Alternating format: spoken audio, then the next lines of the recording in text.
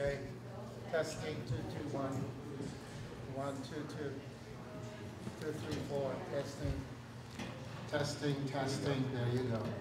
Thank you. It is now four o'clock, and I'm calling the meeting for the Special Governing Board Education and Program Showcase meeting of October fifteenth. Thank you. Roll call, please. Is this meeting at four o'clock or five o'clock? Okay, this closed session, you got an hour. Roll call, please. Trustee Wilson is out of the room. Trustee Waterman? Present. Trustee Munson is absent. Vice President Stewart? Here. President Ubaldi? Here. Are there any public comment on closed session agen- agenda items? Seeing none, I am now recessing this meeting to open to close. Roll call, please.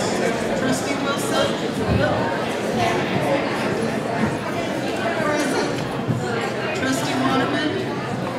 Present. Trustee Munson? is out of the room. Vice President Stewart? Here. President Ubaldi? I'm here. May we all rise, please, for the pledge of allegiance.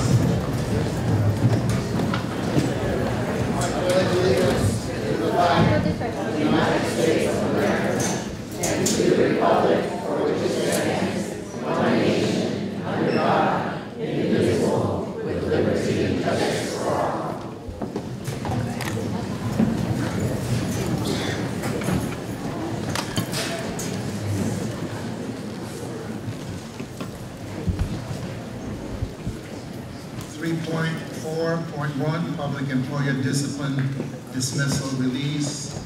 There is no report. Three point four, four point two, conference with labor negotiators, no report. Three point four point three, conference with legal counsel, anticipated litigation. On item, on agenda item number three point four three, in a closed session by a vote of five to zero with zero abstention, board took action to reject a court claim filed by Sandra four four, conference with legal counsel's existing litigation, no action taken. Three point five, recommendation regarding student discipline matters, that is before you. That's F two zero one four, AHP one. That's before you. I was moved to accept the recommendation for F 2014 AHP 1. Second. It's been moved and seconded. If there are no discussions or in favor, please say aye. Aye. Opposed, same sign. It is done. It's four oh, approval of minutes, four point one, minutes of October the first, twenty fourteen. That's before you. Is this on? You can hear me now? Uh, President Ubaldi, I need to make an amendment to the minutes on the cover page. It makes me look like I wasn't at the meeting, but by reading the minutes, you can tell that I was. Yes. So if we could just amend so the cover page says that Adrian Waterman was actually there. On the making of the motion, please recognize that addition, please, correction. Yes, and I, uh, with that amendment, I move to approve. Thank you. That is a motion that's before us as corrected. It's been moved and seconded. Are there no, any discussion? If not, those in favor, please, um, adopt October first as corrected. All in favor, please say aye. Aye. Opposed, same sign. It is done.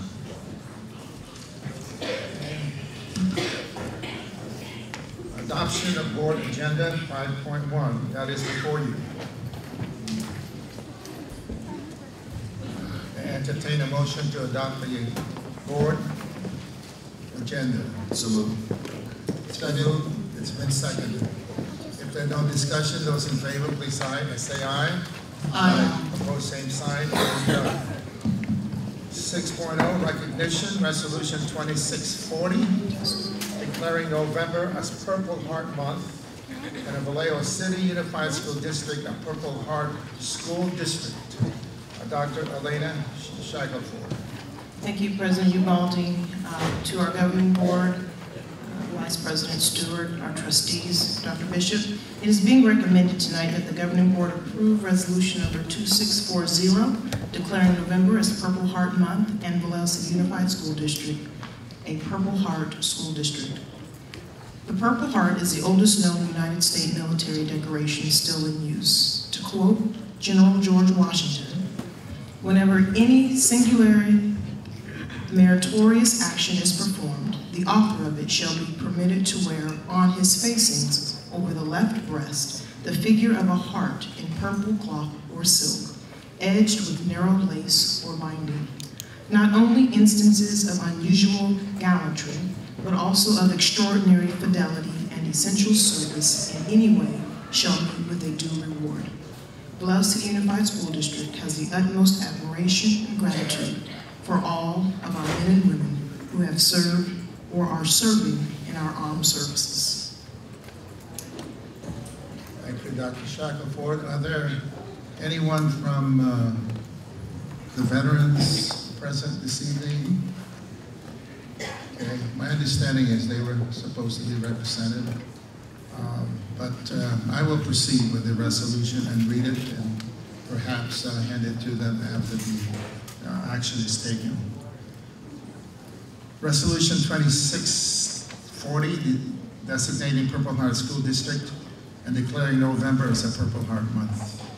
Whereas the parents, teachers, students, staff, and stakeholders of Vallejo City Unified School District have the greatest admiration and utmost gratitude for all the brave men and women who have served or are serving our armed forces, and especially for those who have died or are suffering from combat-related injuries.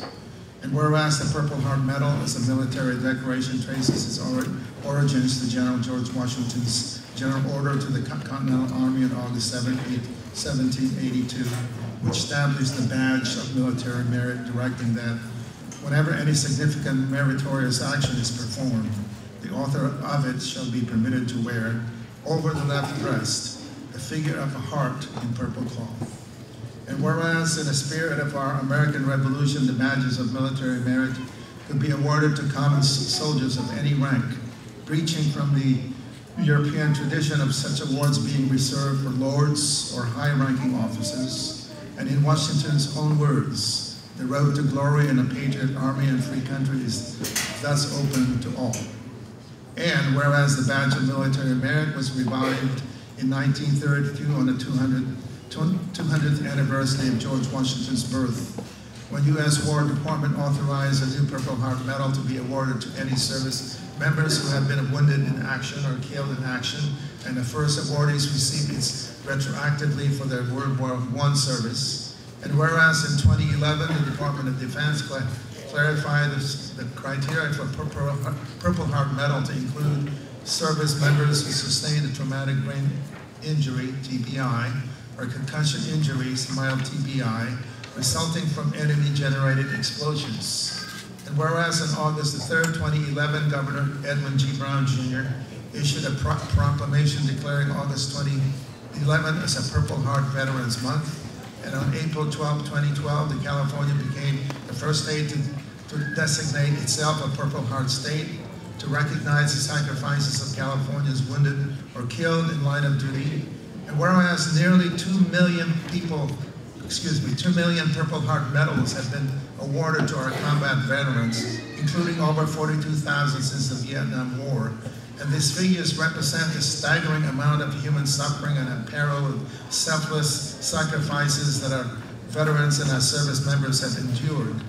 And whereas in the city of Vallejo celebrates its rich military history and is home to more than 10,000 veterans and over 100 living recipients of the Purple Heart Medal, and the citizens of Vallejo which, which wish to honor and thank each of them for their dedication to duty, self-sacrifice, and personal courage for our beloved America. Now therefore be it resolved that the governing board does hereby designate the Vallejo City Unified School District a Purple Heart School District and declare November as a Purple Heart Month. And we urge all parents, teachers, students, staff, and all stakeholders to salute our Purple Heart Medal recipients for their service, valor, and service. And we call upon all governing, governing bodies, businesses, schools, and organizations to honor all our service members and veterans, our fallen, fallen and wounded, those unaccounted for, our former prisoners of war, their families, and all who served with appropriate programs, ceremonies, and activities. Passed and adopted this 15th day of October 2014 by the Vallejo City Unified School District Governing Board, Solano County, California, by, by the following votes. That is before you, members of our board. May I entertain a motion? I move to approve. Second. It's been moved and seconded that we adopt Resolution 2640 designating Purple Heart School District and declaring November as a Purple Heart Month. Those in favor, please say aye. Aye. aye. Opposed, same sign. It's adopted unanimously. Thank you so much.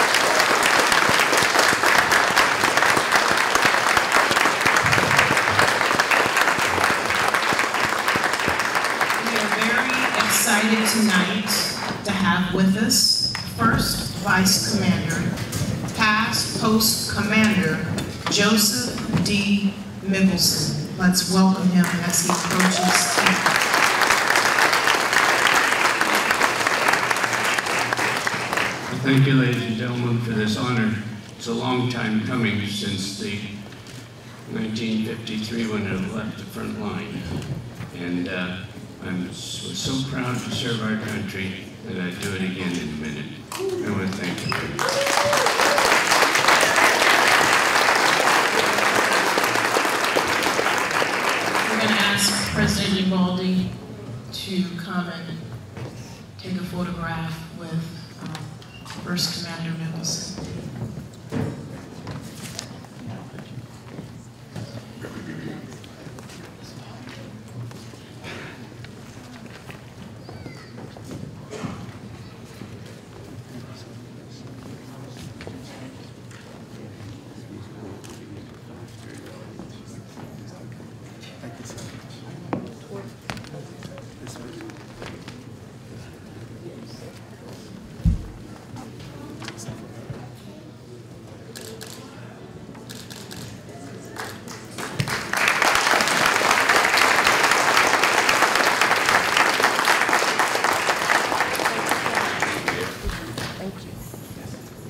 Sit right there.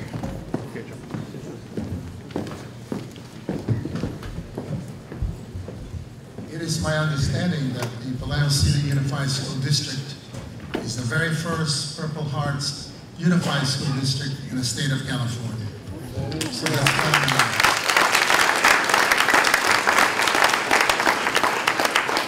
If I may, I would like to see if we have any Purple Heart veterans who are present this evening. We should like to honor you. Would you come forward, folks, so we can see who you are? That's you. Purple Purple Purple Heart Heart veteran. veterans. That's I see someone waving at me. Okay. All right, thank you so much.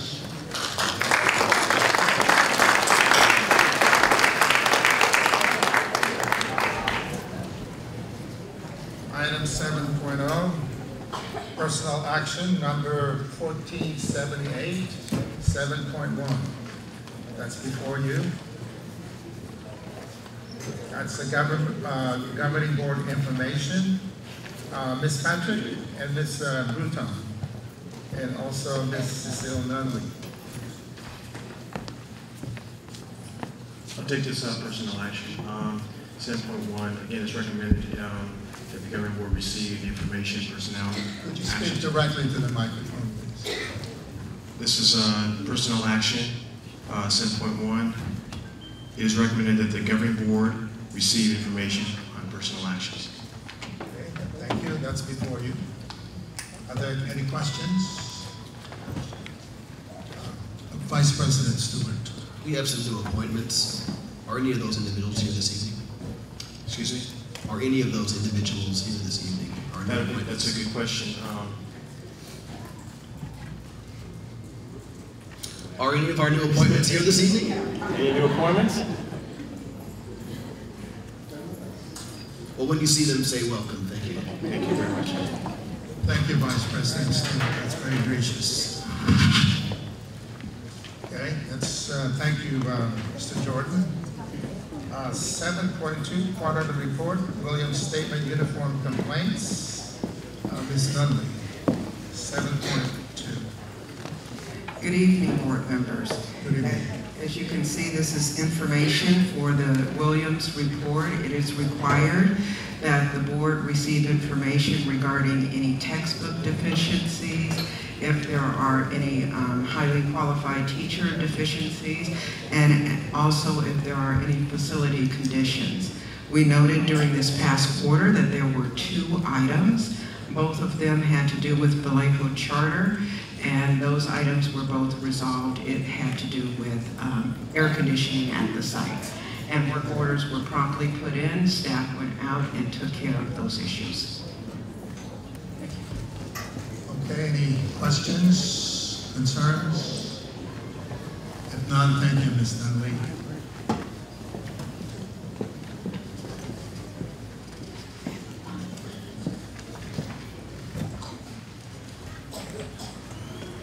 Eight oh, consent items for the governing board action. That's before you. I'd like to pull eight point one. Okay, which will now be nine point one. Any other requests? If not, the items eight point two through eight point eight is before us.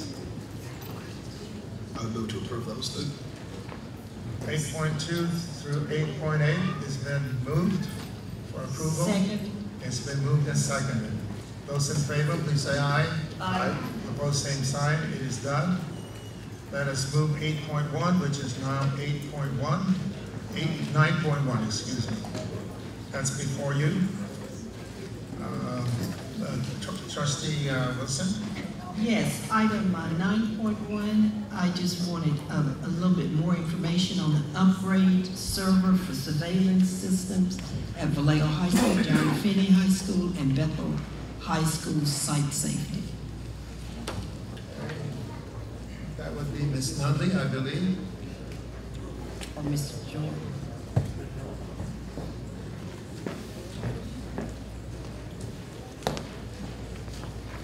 Mr. Jordan? Yes, uh, thank you. Once again, uh, those sites that we're talking about, um, as you know, we've got those sites in for quite some time. And what we constantly want to do is make sure that our, our systems are up in, uh, up to current standards, and that's what that work's being done in those two school sites. Okay, so um, the surveillance cameras are in place, and we have phase one, phase two. Right, but what this is, is that we are changing software to, so that the, uh, the uh, real-time information, when you see the, the photographs on the system, that's what's being upgraded. Okay, thank you. Yes. Thank you, Mr. Jordan. Thank you, uh, Trustee Wilson. Nine point one, purchase order, sent orders as action item. That's- That's before us. Move to approve. Second. It's been moved, approved that we adopt nine, nine point one. If there are no discussions, those in favor, please say aye. Aye. Opposed, same sign, it is done. Uh, we're moving on to 10.0, forum, community members. It is recommended that thirty minutes with a three-minute time limit be held during this time. If more time is needed, it is recommended the community forum be continued at 12.0. That's before us.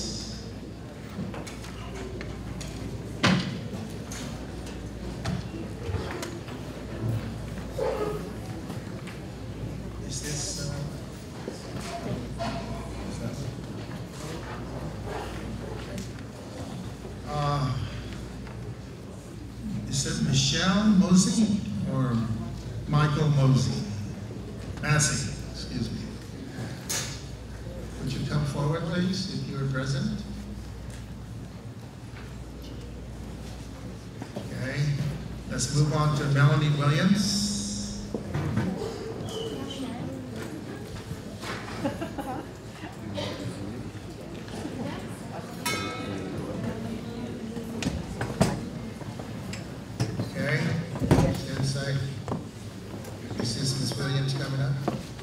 Okay, thank you, ma'am.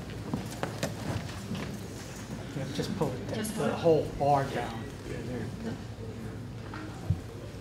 Good evening, uh, board members, parents, and teachers. I am um, representing here for Dan Mini Elementary School. I'm one of um, the parents there, and we just wanted to say how much we appreciate uh, Dan Mini being a resource. I'm sorry. Yeah, it's, it's, it became a, a, a resource fam, um, family full service, full service. Sorry about that. And um, I had a, a, a daughter that is an alumni there, and she's now a um, eighth grader in Hogan uh, Middle School. And I've seen so much changes or, or, or progress in Dan Mini um, from 2007 to now. Um, the parents are very involved now. Um, we just had recently had a family night and it was well attended. I'm not sure if the pictures have been shared with the board members or the, the school district, but parents were, the, the, the, the multi-purpose room was, was full attended by parents and, and students. So we just want to say thank you for all the, the teachers, uh, Mrs. Tapacio's leadership for involving us. We, we get a lot of emails from her announcement, so it really helps us parents to be involved. I do have some parents um, wants to share because they couldn't be here tonight. Um, this one is from a first and fourth grader parents. Um, they say, I would like to thank Mimi and all the staff for all the help and support provided for my kids and my family. The resources provided for families' information, questions are answered immediately. Uh, it's a great school and an awesome community. Another one is from a kindergarten and fifth grader parents. Says Dan School has an amazing teacher staff that keeps a close eye on their child, child's education. There's not a bad teacher among the group, and I feel honored and lucky, lucky that my child attend Mini. Not only do they have great staff and teachers, but they also strive to help their communities. Family are updated regularly via phone calls, flyers on what's going on in the school, which help us busy parents stay on top of things. The only problem is there's not enough parents involvement, but I've seen a difference because I've been a parent of Mini, like I said, since 2007. Uh, this one is from a mom of two uh, from Dan Mini. I'm currently a parent of first and second grader. I'm very pleased that my children attend a full service community school. It has fostered a sense of community and family amongst teachers, parents, and children. We have received many resources and assistance as well. I'm mostly impressed that we were able to provide input and what topics were important to us. As that event information could be tailored accordingly. They're very involved in my child's life in, in and out, outside of home. I also feel that people in their school and neighborhood are able to personally know and support one another. This environment certainly can be largely attributed to the care and partnership of being a full-service community school. And the last one is a parent, uh, first grader. I'm very excited about all the resources available to me at Dan Mini. Since becoming a full-service community school, back to school night and the walk to school day are just two of the exciting events that we have had so far. I'm looking forward for the upcoming events. And I'm so proud to be a parent and former student of Dan Mini.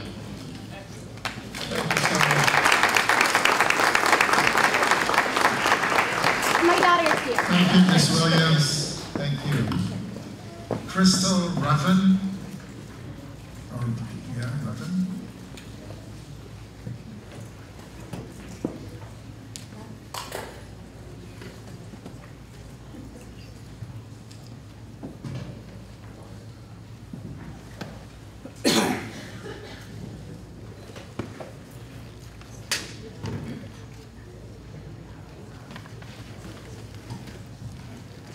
Good evening. Good evening. My name is Crystal Ruffin. You need to get the mic closer. I'm sorry. My name is Crystal Ruffin. I am a parent of a seventh grader that attends Franklin Middle School. And I think that the full-service community school showcase is good um, for some students, but my daughter is a special needs student, and it just doesn't work for her at all the time. Last year in sixth grade was one of our worst years that she had. Um, there was no 504 put in place, and when there was, it was extremely too late. Um, she experienced bullying at school, and when asked for her teacher to be transferred at the beginning of the year, she was transferred, but then she was transferred to a class that didn't have a teacher who only had substitute teachers. So it's extremely frustrating for me, being that I have been her advocate since kindergarten, and she's always had a 504 in place. Um, looking for resources for her is sometimes just unheard of. I feel that, or what should be implemented is that the teachers are trained to teach children that have special needs or learning disabilities or children that are ADHD or ADD. It's extremely hard for her to go into a classroom where the children are, or the teacher has no control of the classroom. She can't concentrate.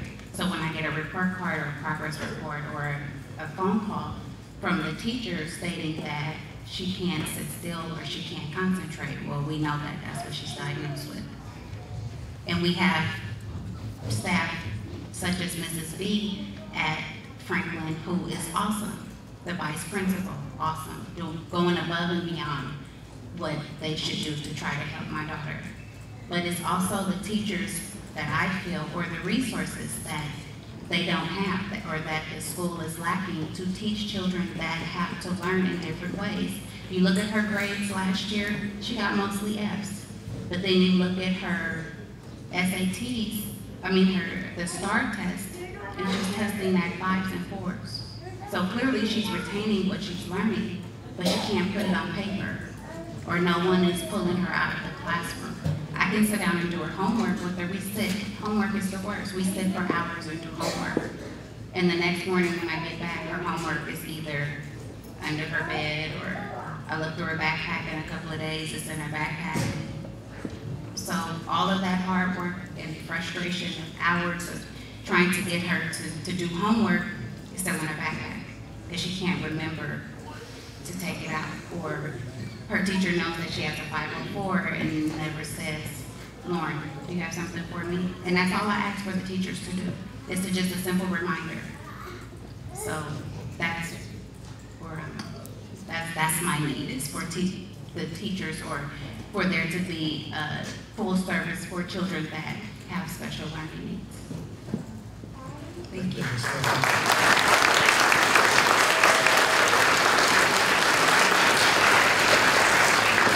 Sheila Bradwell.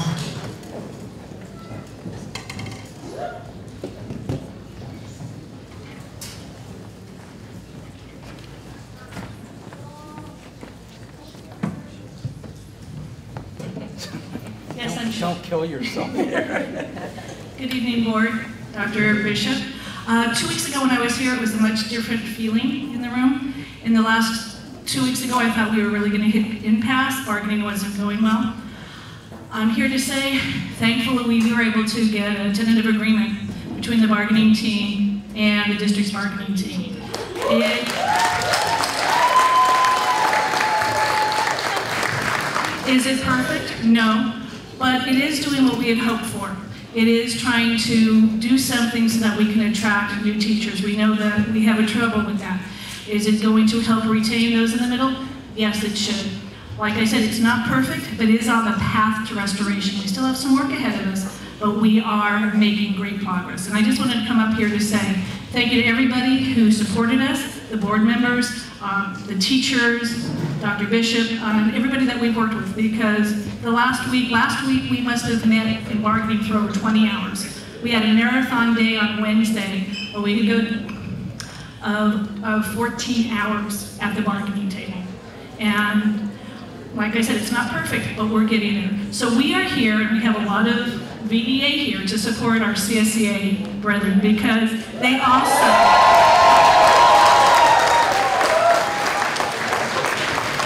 they also deserve a fair contract and a living wage. So we're hoping that they can reach a tentative agreement soon. Um, in support tonight, we have so many people. I have Jerry Eaton, And Jerry, with his hand up, he is our CTA board member. He represents CTA at the board for Vallejo and our surrounding area. We have our CTA contact staff, Mark DeWort, who was at the bargaining table helping us. So I just wanted to acknowledge them. And once again, thank you. Please do for CSEA what you did for us. Get them towards the path of restoration. Thank you.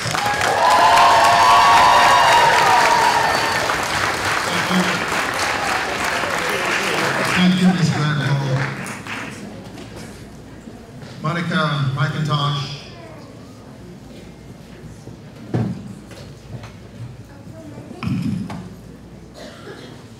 Is she present?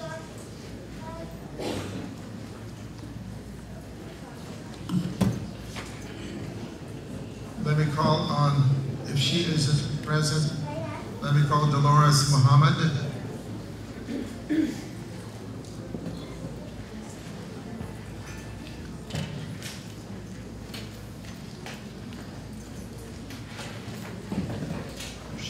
Not present. Rashida Pierce Barbara Davis.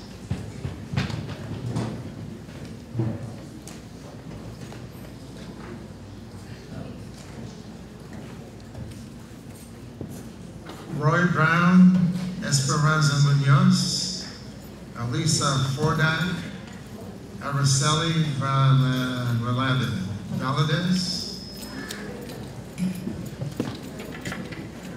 Hi,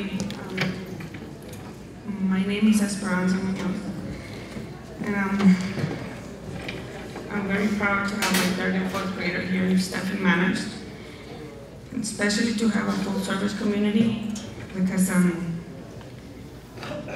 it's um, the full-service community has, you know, has shown me a lot to do with uh, how to have more information from school that I've never been. Um, this is my first time coming to something like this because she invited me and you know and let us know more about how how important it is to know about what's going on with all the schools here in Vallejo and what's going on especially with our school um, and all the service she has provided us. I'm going through very hard with my fourth grader. I think it's just getting too scared of you know, getting older and going through the fourth grade. Um, she's been, you know, getting kind of silent anxiety, and um, Ms. Soto has been great. She's provided a lot of help with her and, and to me, but um, I think it's it's great to have something like this. And what else can I say? I mean, I'm very proud and I'm very happy to have something up. Uh, a community like this, knowing that we can come to school and if we need something, help or more information, we can go with her or come to the office and they'll let us know a lot of information that sometimes we just ignore because of, you know, working and not being around a lot of, a lot of deadlines from school. Thank you, Ms. Munoz. Raymond Harris.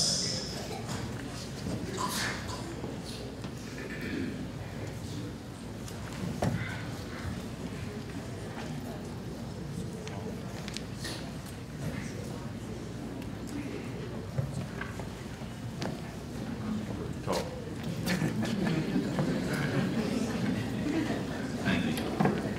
Um, my name is Wayman Harris, and I'm one of the parents at, uh, or one of the parents whose child attends uh, Highland Elementary. Excuse me. I wrote a few notes at the moment. I, I veer off without them. So, um, I guess in short, what I'm trying to, what I would like to say is, uh, I'm pretty happy with everything that's taken place for the most part. Um, and when I say for the most part, there's something I'm unhappy with. It's just uh, I'm aware, or I've been made aware that annually the funding has decreased, and I feel like um, their priorities are in the right place and their time management. So I am happy with the results that uh, I receive from my child when she comes home. For the most part, as a, as a parent, I realize that 50% of the work actually starts at home. So while I just expect them to polish her off. My job is, you know, to be the voice of reason and, and am I shaking? I feel like I'm shaking. I'm Sorry. Um, you know, again, you know, uh, the, the principal, um, Miss Amy, because her last name is difficult to pronounce. Miss Amy and uh, the ASP, Mr. Brown, I definitely feel like, you know, the pay grade may not be appropriate to talk about. I think they exceeded. You know, uh, Mr. Brown from in the morning, he's helping kids in and out of school, delegating traffic, seeing to it that kids get in and out of cars, crossing streets, and that's just what he does in front of the school. Um, the principal, she's been extremely approachable. Uh, the only issue I did have, she like made it overly clear that she will resolve it and has been doing that so far. And it's not even big, it was about candy. So that wasn't even. But that said, uh, I'm extremely happy with the way things are going. Again, uh, I do my part at home, and then, um, you know, they do theirs, so things are good. Is that it?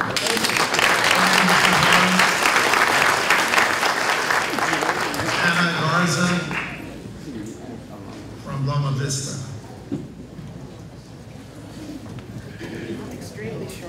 Uh, Am I supposed to read all the names? That's listed here, okay. Uh, Belinda Wells, Diana Ariago, Monica Martinez, and Imelda Eros. The other ladies are here with me, but they're trying to be a little shy, so they wanted me to speak, which I have no problem because I'm very boisterous. um, good evening, I'm Anna Garza. I'm here representing Loma Vista Environmental Science Academy. Um, I just want to talk a little about the full service community school. Right now at Loma Vista, there are so many awesome things going on with our full service community.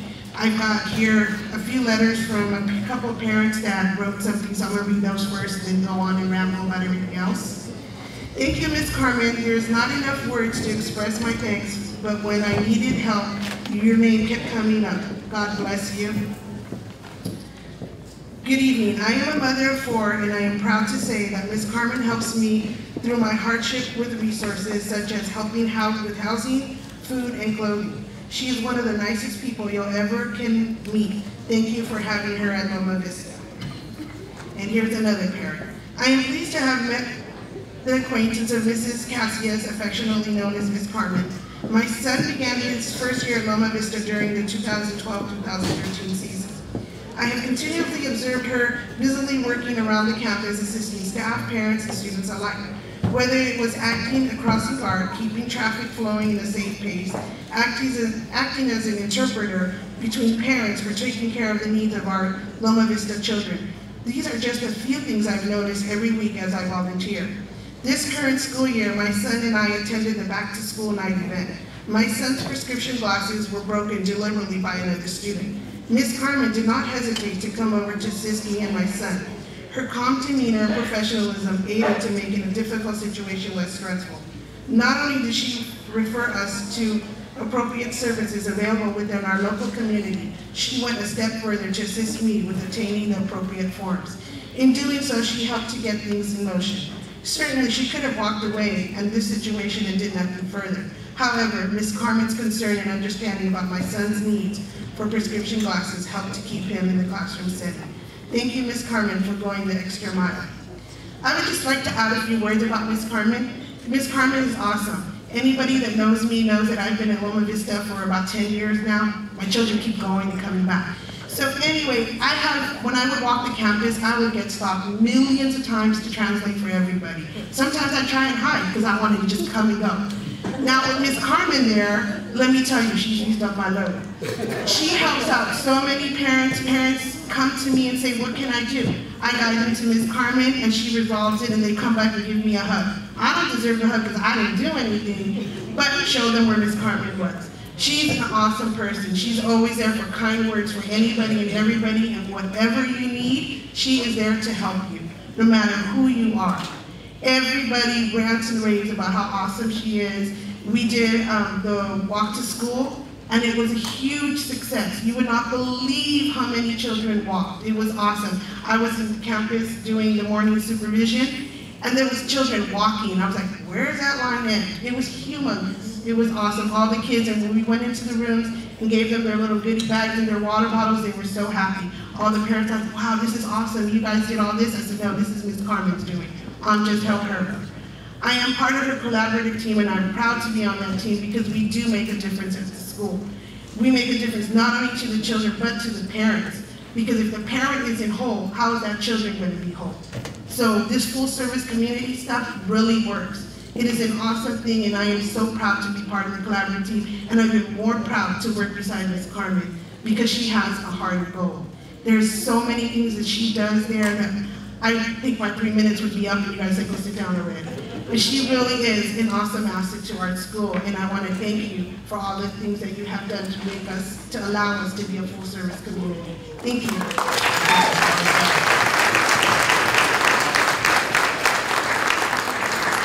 Nicole Gordon, Lincoln Elementary, followed by Linda Rax from Cooper. And included in that is Ms. Ram-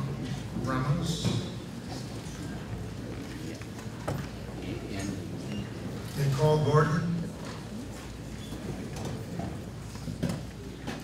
from Lincoln. Oh, yes, she's coming.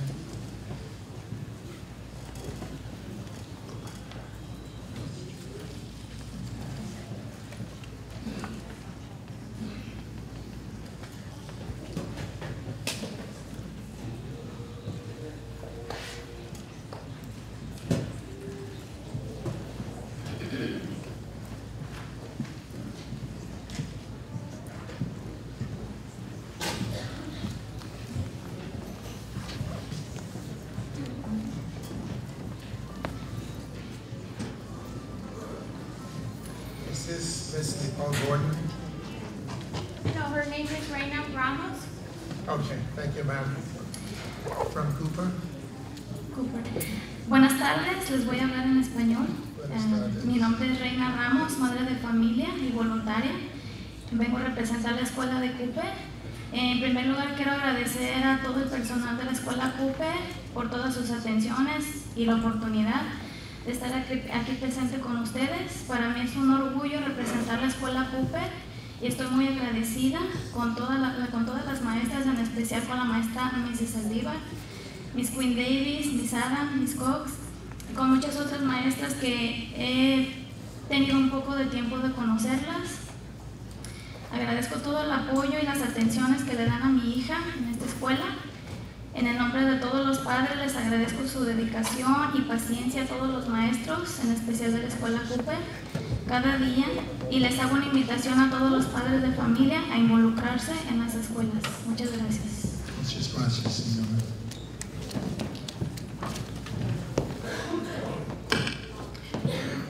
Good evening. Uh, my name is Reina Ramos. I'm uh, a parent I'm also a volunteer. I am representing the school Cooper. Uh, first of all, I would like to um, thank all the um, people who work at Cooper uh, because they have been uh, really helpful. I would like to also thank for the opportunity to be here tonight. Uh, for me, it's um, really important to be and represent the school Coo- Cooper.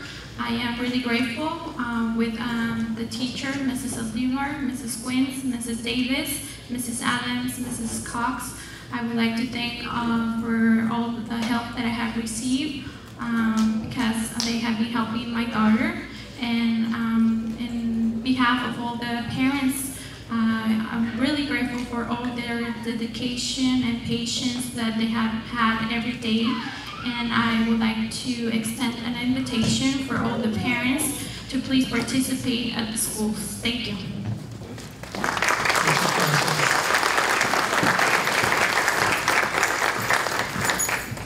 Um, I'd like to call on Mr. Mike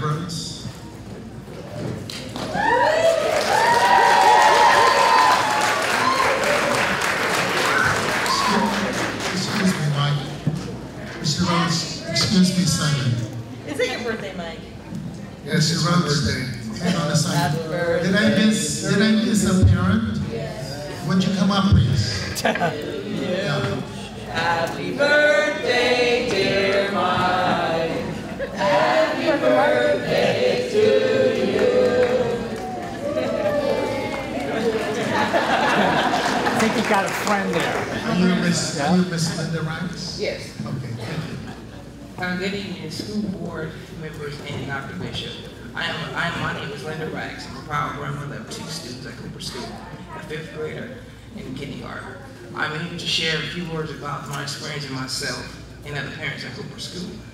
Since having Ms. Cox present at the school campus, I've witnessed works with several families with the, with SST process. I'm a very active parent on campus. I have been involved in several SST meetings apart from action plans to support other students and parents. This is helping the students become more successful. Being part of the SST meeting, I have seen the progress of students they have made. This year I'm part of. That's this part. Um, of the school site council during the meeting, and the staff has been very open hearing ideas from the parents. Okay, now I would like to share some experience from other parents that would like to share. This is last year, my was homeless and sleeping in my car. One of my sons shared his information with his teacher, and they to talk to Ms. Cox. From this conversation, Ms. Cox made, made contact with Jamie from FF, FRC, Office to Help Us, Ms. Cox assured that someone would, someone would be done to help our situation. She provided us with a cell phone number, just in case we need to contact her after school hours. Jamie was able to help us with some resources at night of food, some, excuse me, night for food, and the numbers to call for the next day. As we waited around trying to figure out what we would do for shelter that night. I called Ms. Cox in her situation, in Ms. Cox and, and, and shared her with her, and she still, uh, just barely, sorry about that. Was, we with the school because we felt that we were, it was out, it was a safe place, and we had no place to sleep that night. She met us at, she met us at the school, she took us to a hotel for the night and gave our family some food. Ms. Cox, Ms. Walls, and Jamie attend to work with our family to help us go back, to get back on our feet. We attended parent nutrition classes and being offered at the school. It says our family was still deal with many issues, but the staff Cooper helped support our family, especially for our, just bear with me. This is dealing with all the issues our families having. Our children are not living with us at this moment because our wife and our families are living in a residency program in Fairfield. The, the Carpenter family, parents of first and third grade students. Says, on our opinion, our kids at school a very nice school, and kids are enjoying attending Cooper School. My daughter is in Miss Crum's second and third grade class. Miss Crum is very nice and very helpful and she has directed to help some resources to help us out with our daughter's anxiety. She also makes herself available when I have questions about my, my daughter's anxiety. Sometimes not dealing with the classroom and just a good person to have around at Cooper, the Ramirez family, parents of Kenny kindergarten and second and fourth grade students. Thank you.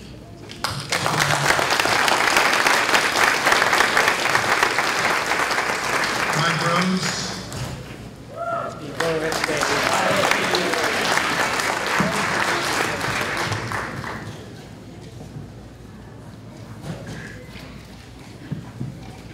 Thank you, Dr. Ubaldi, trustees, Dr. Bishop. My name is Michael Rhodes. I want to thank um, our brothers and sisters from VEA for showing up tonight. It was a nice birthday present. Be better the Giants win, Valerie. Anyway, I'm here tonight with my union brothers and sisters to remind you that even though you've reached a tentative agreement with VEA, that CSEA deserves an agreement too. We expect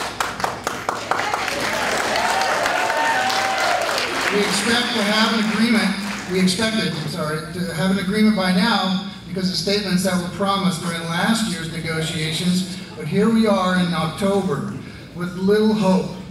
Those promises and statements will be kept. We were shocked when we were what we were presented with at the table. Our members, along with VEA, have sacrificed for years. Because of mismanagement at the administrative level within VCUSD that caused the district to go bankrupt. CSEA members had nothing to do with the mismanagement, but we are the ones who suffered those consequences. Local control was not given back by the actions of just one person. It took many years of sacrifice from every employee. CSEA members have had to forego wage increases, even well-deserved COLA increases for the last eight years. The contributions for our employees' health coverage on the district side was capped, which it turned our members had to pay for all increases in coverage. In effect, that amounts to a pay cut every year. If those sacrifices didn't help our district get back local control, why were they necessary? Many of our members can't even carry benefits because they have to buy groceries or pay their bills instead. Do you know what it's like to work 40 hours a week, go home tired, and not be able to provide the very basics for your family? So we have members that decide where they're going to spend their limited dollars on food, shelter, or health care. An offer to assist our members who subscribe to single person coverage is, is discrimination in our eyes. All of our members, all of our members need assistance. We were told all of our members would receive a fair agreement. You already know that the district is at least 10% behind other districts in this area. We can't even retain subs because they're able to make more money in Fairfield and Richmond. When the increases in the minimum wage encroaches on your members' wages, it is a real shame. More duties have been added to our members' desks, but the pay hasn't gone up. The process of second interviews is perceived to exclude our long-term employees from promoting and making more money to provide for their families. It used to be employees needed to start at the bottom, but now they're going ahead of all the employees and they're starting at the top. Loyal employees who have suffered the effects of mismanagement, nothing they had to do with. We stand here arm in arm with VEA, asking you to give us a reasonable offer to restore our wages to comparable rates in the area, help us help our members to afford health care. We are asking our school board members to take control of this district and do the right thing. Thank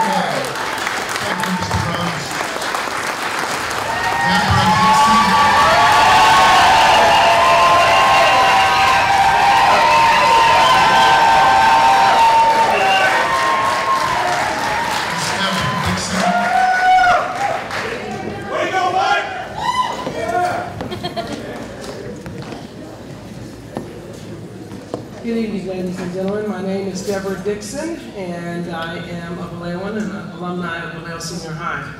I'm currently the school site president at Vallejo Senior High, have been for the last almost six and a half years. Um, I just want to talk a little bit about the report that came out in the newspaper about Vallejo Senior High School. It just seemed uh, very strange timing uh, to me uh, that these reports, this report would come out at this particular time. Uh, in addition to that, as a school site president, I've been on that campus numerous times and I've not seen what the report alluded to. So I just wanted to say as a citizen, as a school site president, as a parent, as a grandparent, that I think that there's uh, some other issues going on here. And I just wanted to uh, get up and speak about that. Vallejo Senior High School is a wonderful high school. I'm a graduate, my, my sons are graduates, my grandchildren are graduates, and I am just absolutely proud of Vallejo Senior High School. I just want to get up and say that.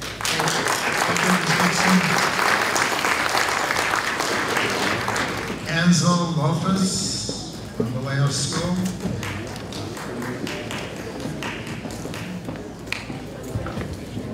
Thank you. Good evening. I, um. So you gotta get closer to speak, front, in front of the mic.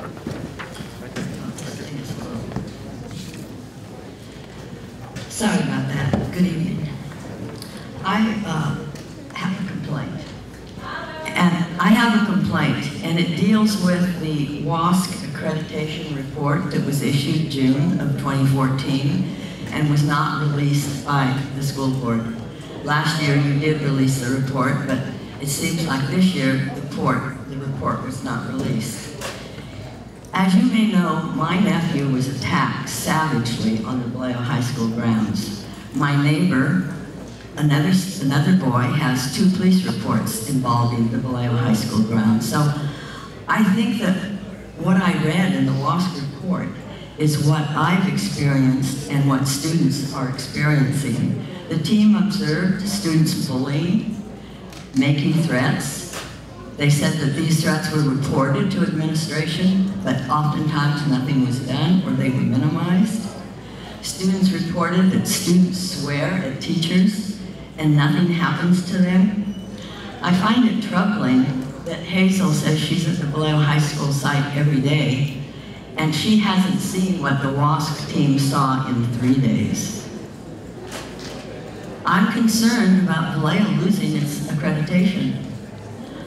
Uh, I, I, I think that this is very serious. I've been in higher education for 44 years, and I take this report very, very seriously. I would like to know what the board has done about responding to the original grand jury report that cited safety issues on the Vallejo High School campus, and we were promised a response, and it hasn't been forthcoming. And I would like to know what the district is doing to address safety. Thank you. Thank you, Ms. Lopez. Oh, one other thing. Uh, one other thing.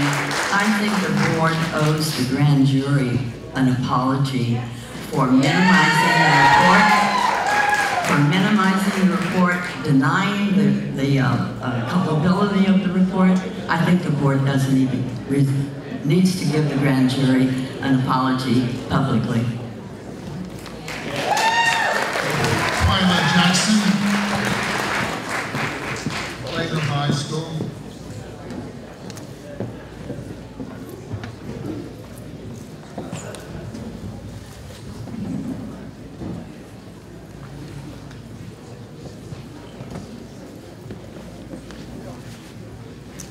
Good evening, everyone. My name is Twyla Jackson, and I am a Vallejo High School. This is my first year in the district, and I wanted to talk about the climate on campus currently. I can't speak on the past. I can tell you what I've uh, witnessed this year since I've been a part of the staff. And I have found that um, with the presence of our administrators outside and among the students, especially during passing periods, I'm finding that there are less altercations than I've viewed. I have work on, worked on other high school campuses, and I have never seen the presence of all those administrators out on campus on a regular basis. I think that that presence is making a large difference as far as the climate and behavior of the students.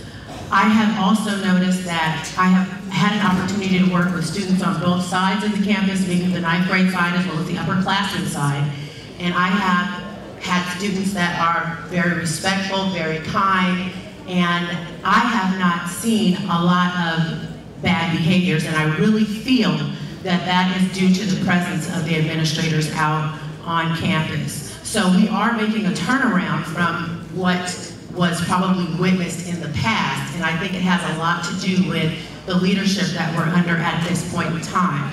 So I really feel that Vallejo High School is making some great strides and we are doing a lot of good work there.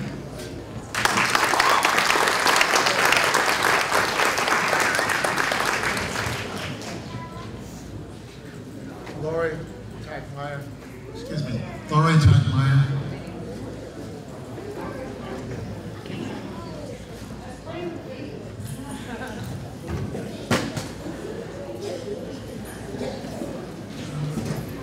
Sorry, I was playing with the little girl behind me. Good evening, my name is Lori Tappmeyer, and I am a happy transitional kindergarten teacher at Dan Meek School. And and I'm also a member of your VEA Executive Board. And this evening, I'm here to speak to you for a good reason. Over the last five years, VEA has come together to support our students. Every year, we sponsor a Helping Hands Drive in which VEA members get together, we purchase school supplies, and then we donate them out in the community. I'm happy to say we're doing that again this year. Despite hard times, despite not having colas, we are still giving back to our community. So next Monday, October 20th, and next Tuesday, October 21st, we have our fifth annual Helping Hands event. You should have seen these flyers at your school. They should have gone out and they're going to our students. The students can come to Omega Club over on Mini, sorry, uh, on Monday, October 20th, between 2.30 and 6 p.m. They will be given supplies such as paper, pencils, colored pencils, crayons, depending upon their age, binder paper, and notebooks. Um, on Tuesday, October 21st, they can come to the Springstown Library, which happens to be my site. You can come visit me, and we'll be giving out the same school supplies. Some teachers have donated some books. Unfortunately, we don't have that many books to give out this year. In the past, we've been able to give out more books. We're a little short on books this year, but if you come early, you may be able to get some books as well. So I'd like to invite all of the community, all of our students, to come out and get some supplies. I'd also invite the teachers to come out and help. Thank you. I need, uh, I need direction from 40 minutes, past 40 minutes since we started our community forum. And, and I have, I have a dozen cards left. What, what direction do you wish to give? Just that, I, it would be my consensus that we let them go on, Is that, that we finish. I, I concur. okay, let's proceed. Uh, Jeannie Lane. Director, um, Ubaldi, I would say, you say you have twelve, if any comes after that, that we would, they would go to the. Okay. Thank you, ma'am. Good evening, school board members and Dr. Bishop. I'm Jean Lane. I'm the library media technician at Jesse Bethel High School. Over the years, I've heard the school board speak of the classified workers as the backbone of the, of the VCUSD. You are right. We provide a strong backbone and collectively we do Herculean tasks for the district. In a perfect world, Vallejo's outdated salary scales would be put in the garbage where they belong, and employees would be paying reasonable, reasonable amounts for health insurance. We, when Dr. D'Amelia was here, you could do nothing for the people at the school sites but pay us lip service. Now you're in charge. Dr. Bishop works for you. I'm asking you, what are you going to do for the hardworking people from the trenches? We deserve a living wage. Thank you for your consideration. Mr. Berkey Morrow.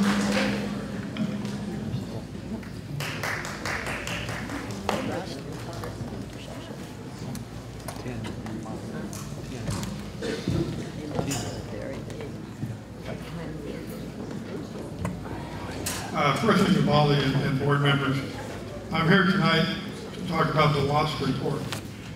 I find it interesting that it's the same old thing. Whenever a negative report comes out, uh, the board denies everything, deny, deny, deny. Uh, surprising, well, not surprising anymore, all of a sudden parents show up at that meeting saying how good things are. They don't show up at other meetings, but they show up at the meeting where this is going to be talked about. Uh, this loss report came out in June, but yet when I found out about it this weekend, I went to the district's website and could not find it. Now, it may be there, but it's going to be buried someplace because I couldn't find it. Um, I find it also interesting that here we're talking about the same things that were on the first of three grand jury reports. The same exact thing. And yet, the school site safety person who's up there who says she's never seen any of this.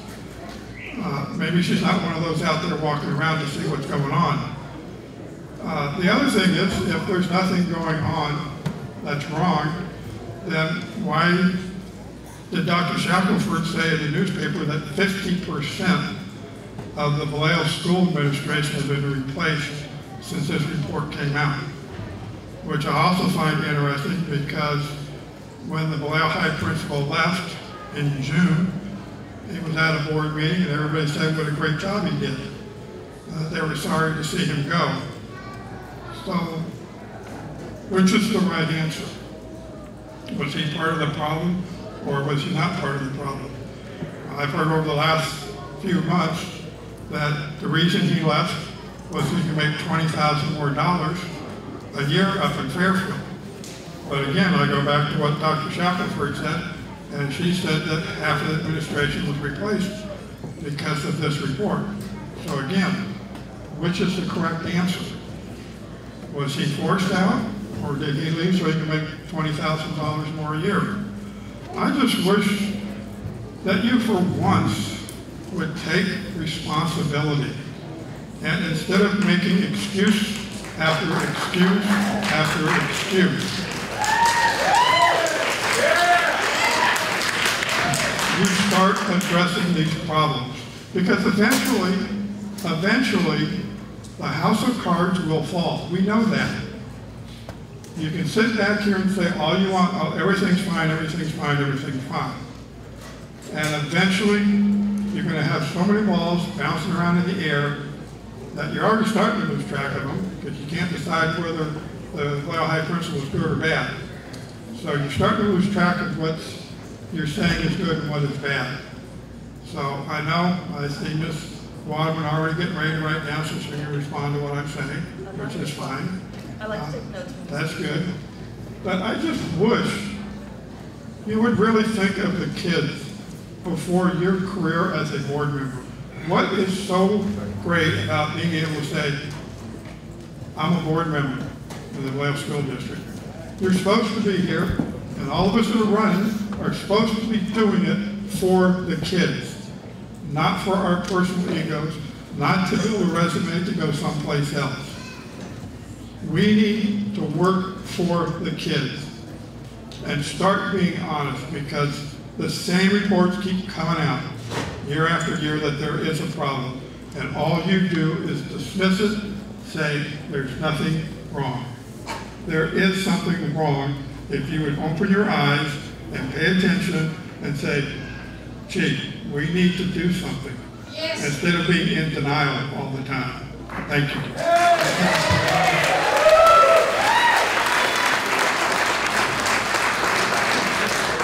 Dr. Churchill.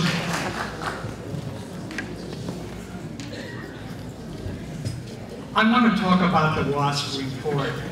For the people in the audience, the report highlighted issues at Vallejo High School about school safety, teacher turnover, turnover lack of teaching strategies, teaching in, uh, consistency, and student engagement.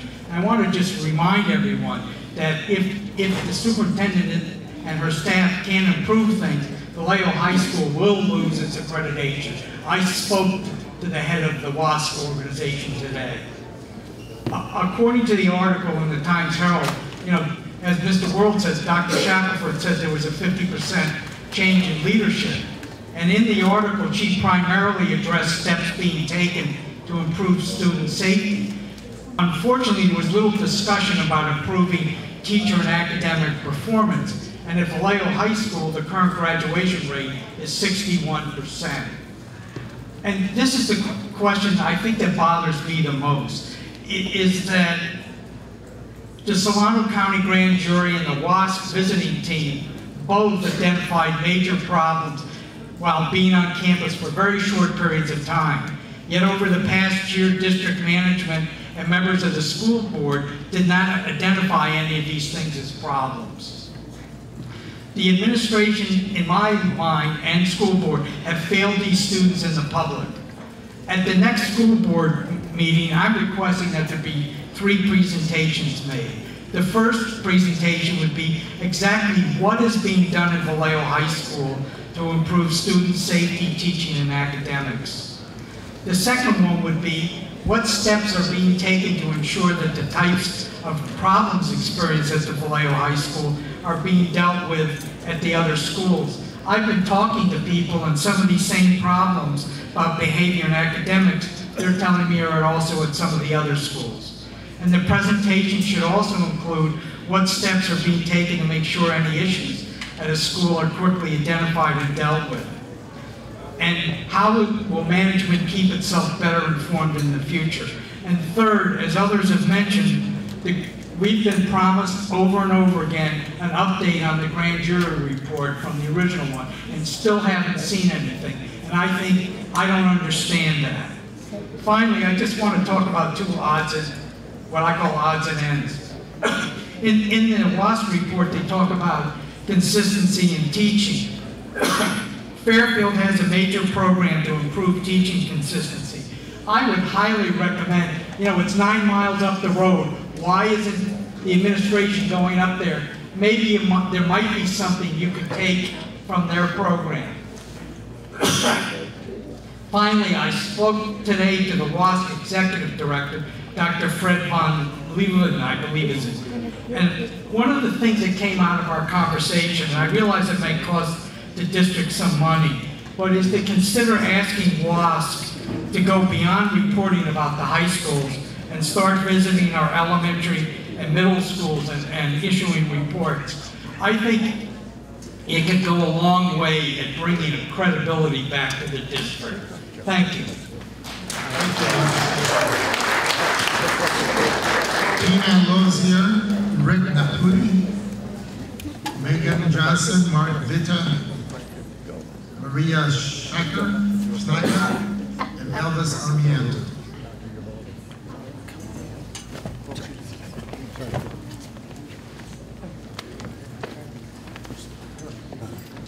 He's uh, from Glen Cove. Yeah, hi, I'm Tina Lozier, we're from Glen Cove. And last year we, last year we, we had a lot of trouble with the kids getting back and forth to school. We live real far away from the school. Um, and my kids missed a lot of school. And this year we have JR, and he, he is awesome. He's like my angel. He comes every morning. I have five boys, so when my kids stay home from school, I'm pulling out my hair by dinner time. So when he comes every morning, it's like an angel showing up at my door to take my kids to school. Um, my older my older son that goes to Glen Cove, he's a fifth grader, and he's uh, in the leadership program now. Last year, he would not have been able to do that. They missed so much school. So I really, really want this program to continue.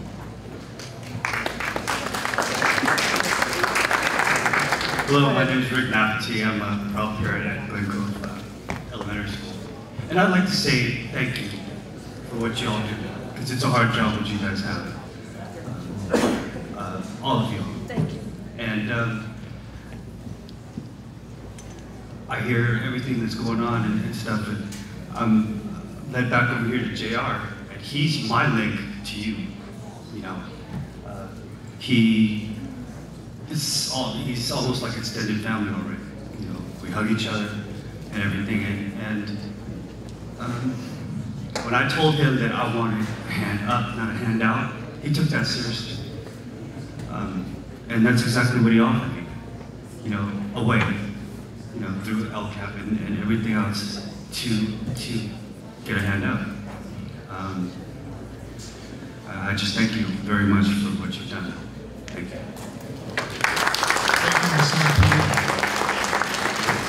Carmen Rivera, I assume? Carmen Rivera?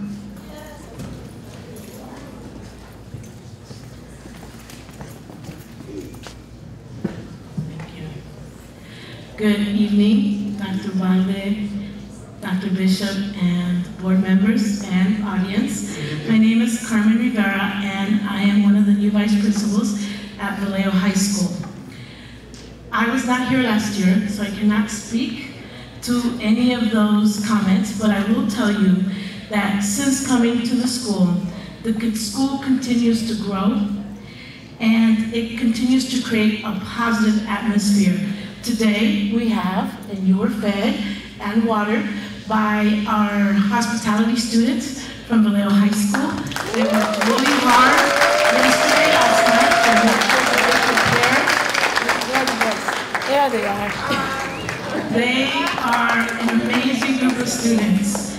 Um, we continue continue to build um, on a strong team that the district put together. Each academy has a vice principal and a counselor assigned to them, along with the ninth grade academy and the ninth grade counselor.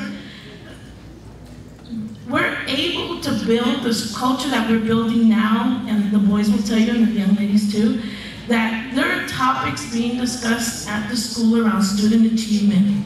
Uh, we have uh, ensured that we target the student populations that have greater needs, such as our English learners. Our population of English learners has grown. This year, we have a lot of newcomers.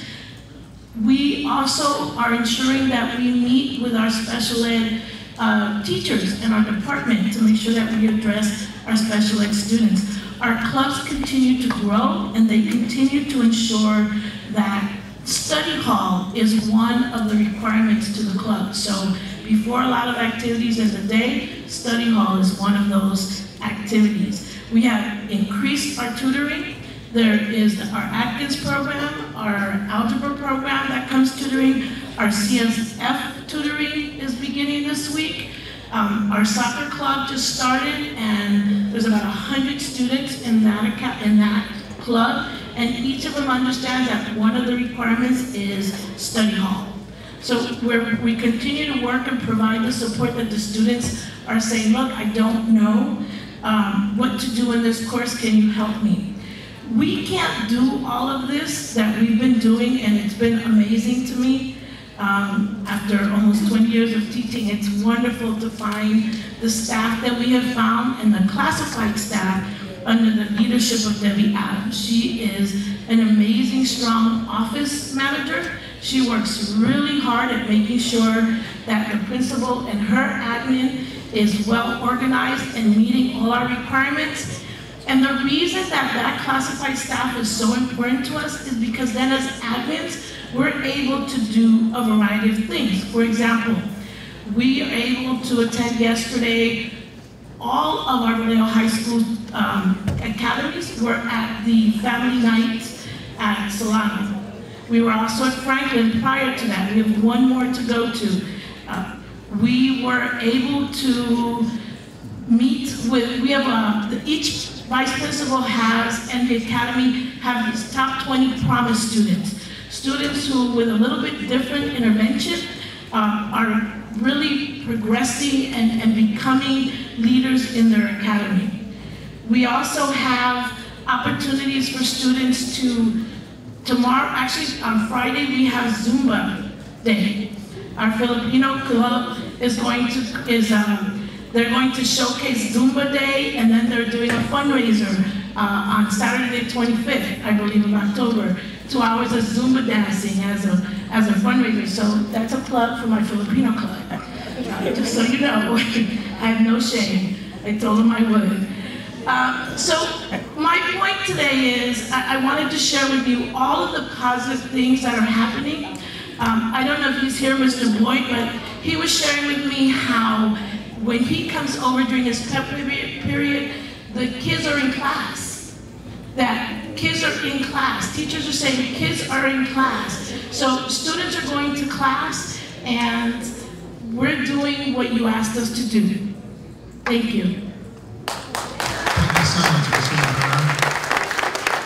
Roxanne Brown Garcia.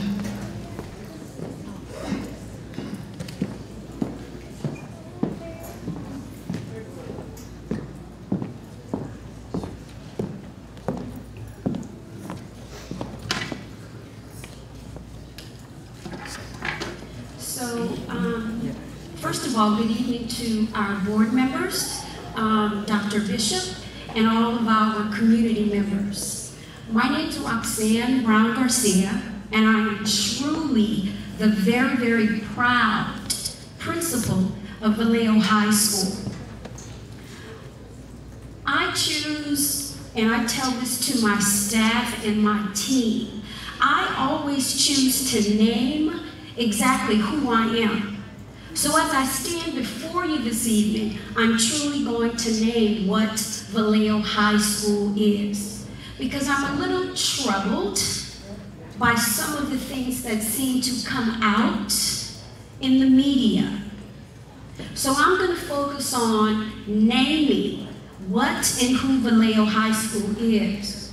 First of all, I'd like for you to know that we have three primary premises that we work toward fulfilling. The first one, of course, is achievement. The second one is school culture, climate, safety. The third happens to be parent and community involvement. Let's first start with, with achievement. Typically, when you work in urban schools, you will have large populations of students that really need a little extra. Vallejo High School is no different from many, many schools that have similar demographics. We have a large number of EL students. Across this entire nation, we have brown and black students who are just underachieving. In addition to that, we also have children that have special needs. So these things are not unique to Vallejo High School. But what is unique to the school that I proudly represent is that we are talking about data. We are talking about why maybe our brown and black students are underachieving. We're asking questions why. And we're also trying to figure out ways that will help bring those at promise. Don't call them at risk. All of my students at Vallejo High School are at promise.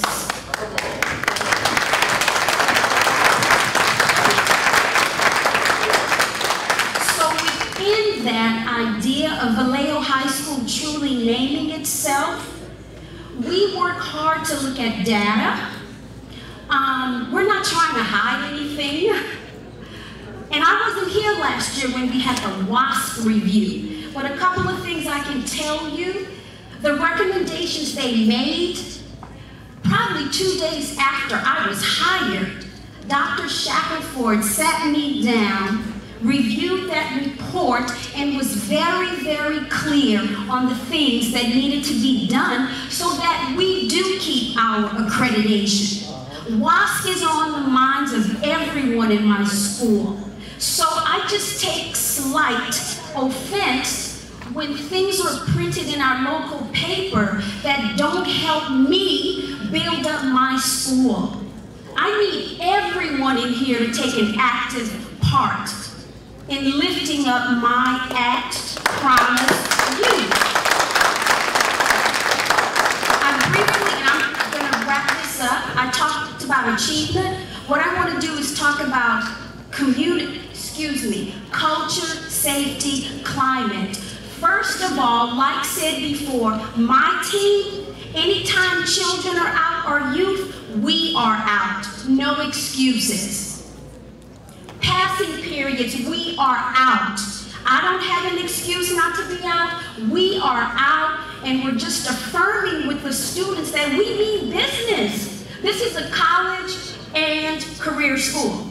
I also have to talk about, I have like 11 strong folks, safety people that keep the school safe. And I want to acknowledge Vic, who's my lead safety person.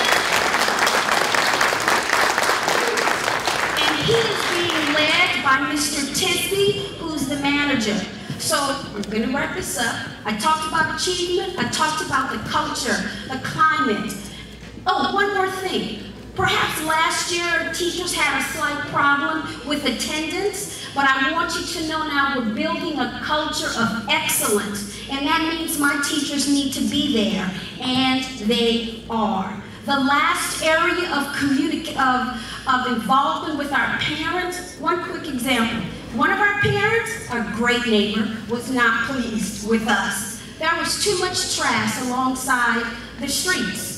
The day she told me, the next day we were out picking up trash. She sent me um, a card, even a Starbucks card. So that was really, really cool. But we are out there responding to our community. I'm going to be done in a minute, but I want to say this. It doesn't matter what the media says about my school because I'm there 12 hours a day or 10 and I know what's going on in my school. So if the media would really like to know what's going on, they really should speak with me. Thank you.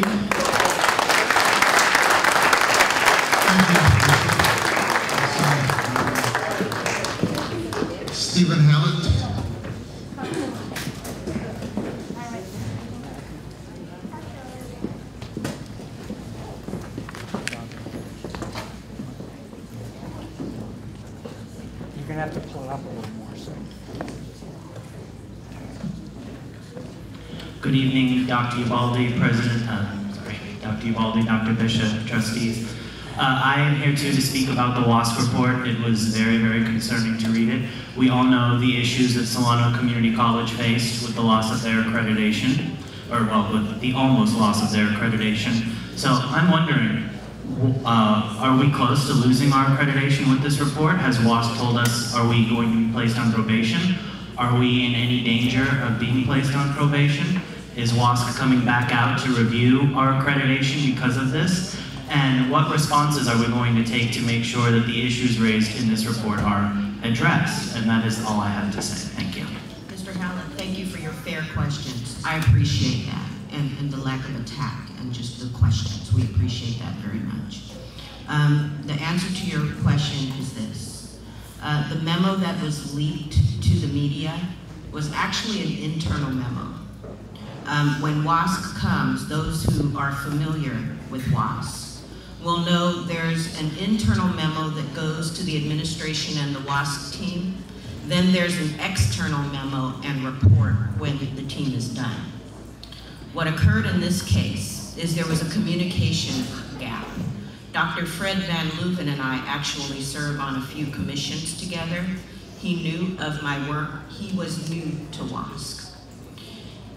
He, his newness to WASC and the timing for this particular accreditation collided, and therefore the superintendent's office nor Dr. Shackelford as the evaluator for the school was notified of the visitation.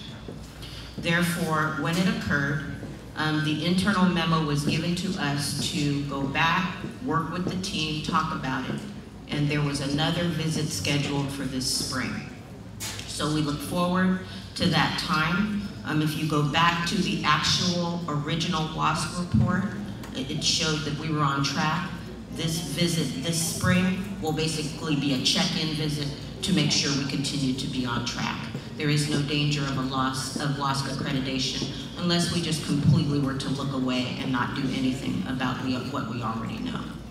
I would also say that um, it's important for all of us to realize that any change process typically takes five to seven years.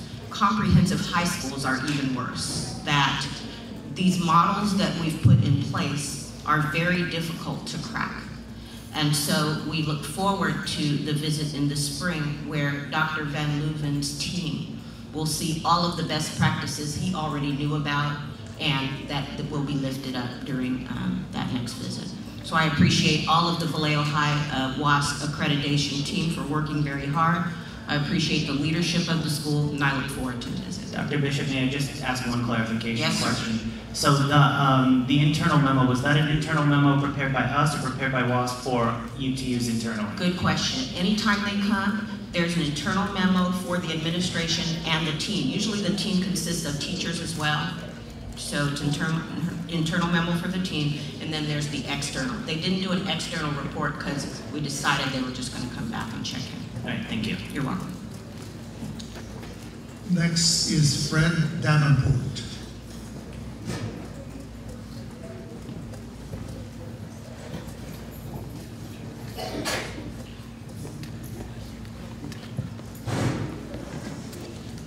You gotta get real close to the mic.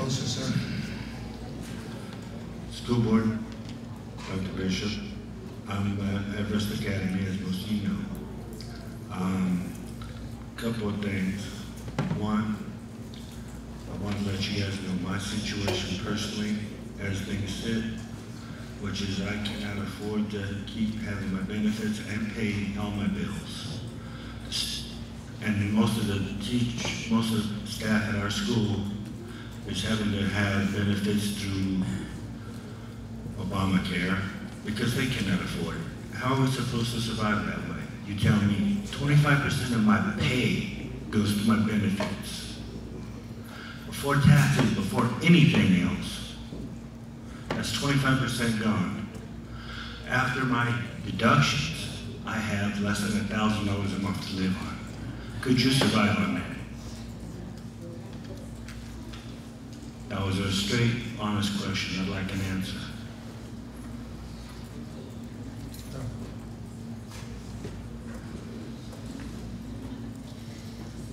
So I'm asking, give us a fair contract.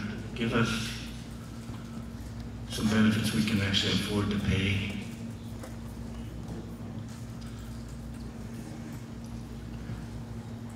And also,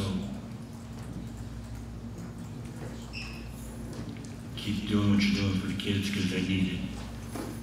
Thank you, Mr. From Elsa Wiedemann, William Lewis, Brian Sapalin, Angela Johnson, and Theresa Kelly.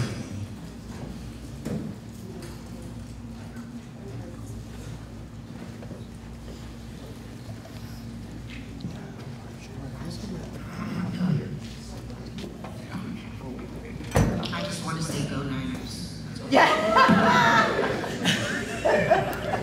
Good evening, everyone. Good evening, sir. And uh, it's a pleasure to be uh, speaking before you for a wonderful school that my children attend. I'm single father, parent. I have two lovely daughters over here accompanying me here. And um, just to thank you for the full service. Uh, my daughter's been attending uh, Elsa Wiedemann uh, since kindergarten. They're now in the third and fourth grade. I've been an active member and participating of that school. And uh, I tell you, when I first met uh, Principal Hatter, I was excited because she was someone who was very boisterous. Uh, she had control, and more than anything, she gained love and admiration from everyone who came through those doors, including myself. Um, I just like to share that uh, with uh, our parent university, this uh, classes that we have, I was excited. I got to meet Dr. Bishop uh, that night and this gentleman right here, uh, Dr. Tony. I, it, it was just great. I, uh, Brother Jordan right here, he interviewed me. Uh, it's just been inspiring. Uh, uh, one of the things I really liked about it at that full service school is our medical and dental. Our girls have really, uh, really, is, a, uh, what's the word, um, benefited from that. Uh, the, I'm just, have excuse me, I gotta look down on paperwork right here. Uh, But, uh, uh, just, uh, all the services, the after-school program, the, they're getting ready to go into the tutoring, uh, that we had, uh, when we, uh, the, uh, Parents University had our open house and, we're gonna do the one-on-one tutoring. And that's gonna be a big plus for my girls, they, they are moving forward. Because I want my daughters to have the tools they're gonna need to move forward in this life of computer age and be able to not be uh, taken advantage of. And with the, the support that we have at Elsa Wiedemann, with the teachers and the staff there, it's just unbelievable. Uh, Sister Carolyn, uh, she's a wonderful lady who's promoting all the, the, the events that will be happening in our school.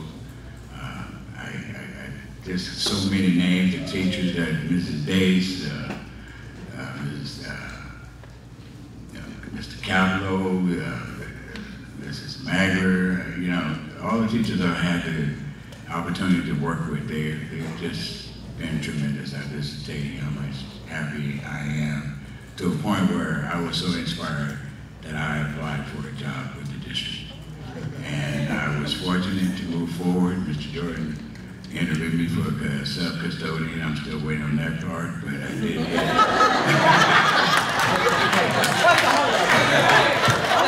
But I did move forward uh, as a sub-noontime uh, supervisor. District having. I worked for the district in Richmond for 15 years. I'm not new to dealing with children. I have nine children of my own. I have seven grown and two that graduated from college. So I'm, I'm, I'm very blessed, and I thank God for it. But to be at the Elsa Wiedemann, it, it's really inspired me to come back out and get involved in helping children because there's nothing but drive in that school to make sure that each one of those children get the education that they need. And I, I'm just thankful when I come here every day and see it. Thank you, Ann, as you, her favorite word, learn something new. And I love it when you hear that. Yeah, and it's, it's a pleasure. Thank you. Thank you so much. I know this is or not the proper way to do this, but uh, good evening, uh, President Ubaldi, Dr. Bishop, Trustee Wilson, Trustee Waterman, Trustee Lumsden, and Trustee Stewart. I want to speak for my parents that could not be here. Apparently tonight is prayer night at a lot of churches. And I, my ASP, Carolyn Logan, is the first lady of the church. And she leads a, a, uh, women's prayer group, and she's there praying for me right now. 'Cause, uh, praying for all of us, I told her, please. But I will quote, uh, read a quote out of our wonderful celebration, Vallejo Celebration Report.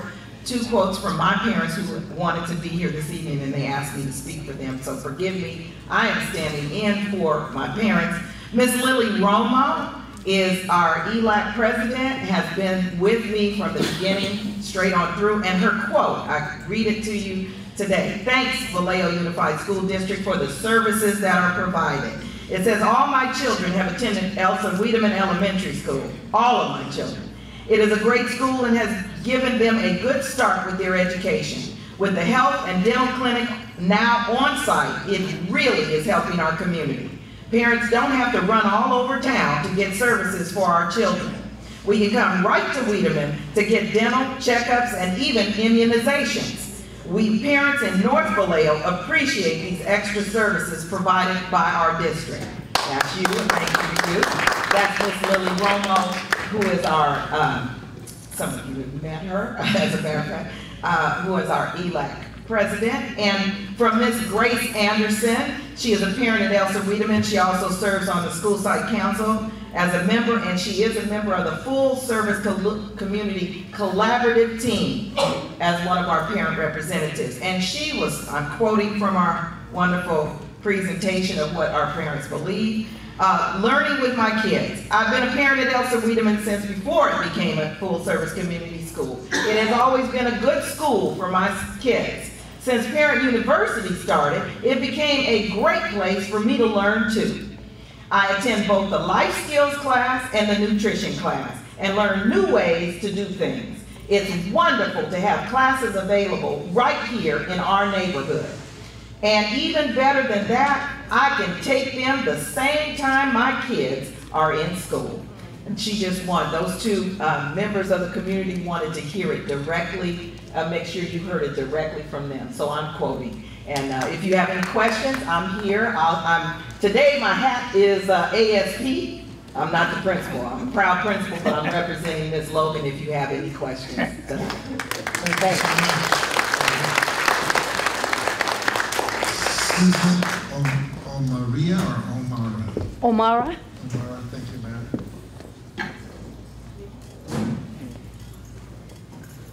Good evening, school members. My name is Susan Amara. I never had my kids in public school. They were in private school. But I have provided childcare for 23 years in this city of Vallejo. I've been to all the schools. And um, now I'm retired. I'm also a, a, a volunteer for my uh, school board campaign uh, uh, candidate. I was walking door to door trying to pass flyers very happy. I knew all the place in Vallejo. As I was knocking the door, I spoke to all the residents, and I said whom I'm running, I mean, I'm campaigning for. They said, well, I have no confidence in Vallejo School. I said, why? Vallejo is a beautiful place. And they said, the school system is not that great. Look at Benicia, look at Vacaville, look at other schools. They're better than Vallejo schools. I said, why do you say that? She said, we don't see any progress. A lot of young families are not moving in here. My grandchildren will never go to school in Vallejo. I said, why? Look at all this going on. They're, they're, they're failing. This is the mentality our city is going, Dr. Uh, Tony Ubaldi. I have number of homes that I knocked door. They say, yeah, I have no faith in him. This, I don't have faith in so many people. This is why not. I said, no, you're wrong. No, you have to stay here. This is a beautiful place. This city is a beautiful place. I came here 29 years ago. I'm from Malaysia, originally from Malaysia. And I decided to stay here when my husband was stationed submarine at Mare Island. And I still want to stay here longer. But we need to do something. You know, they're all moving up. They said they are not live here anymore. They said the value of the house is not going up, Benicia's up, we are not up. This is the concern. You know, we need to break that mentality. And every one of you sitting here responsible for our kids' education, you need to do something. If you cannot do it, step aside. Let new voice come in, fresh people come in, and make this place a better place. Don't cheat our children on education because this is their birthright. And I am all out for it. And I'm, you will be seeing my face very often from now on. Thank you. I, and, and I want to know what school board is intend to do about this. Thank you.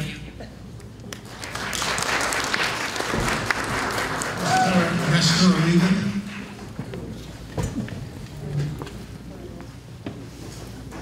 Uh, good evening, uh, Board President Dr. Balde and uh, board members and Dr.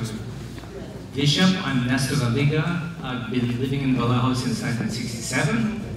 Uh, Lincoln Elementary, Franklin Junior High School, and Vallejo Senior High School, class of 70 something.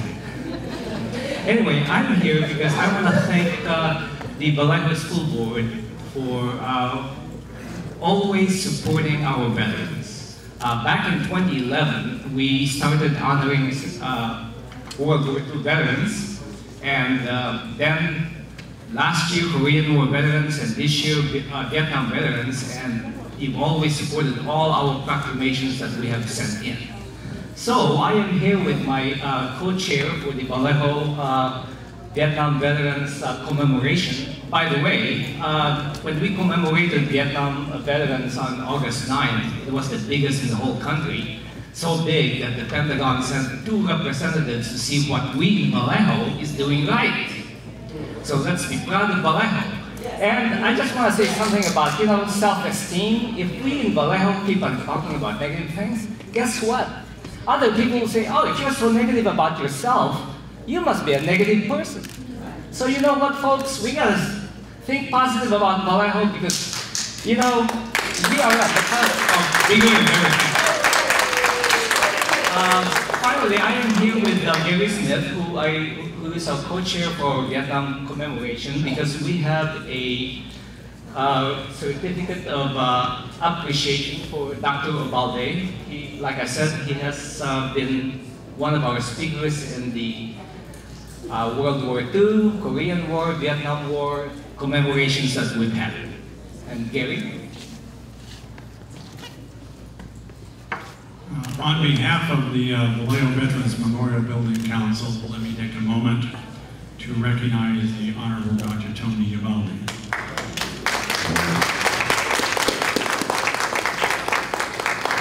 And I will read from the citation. Please step forward, sir.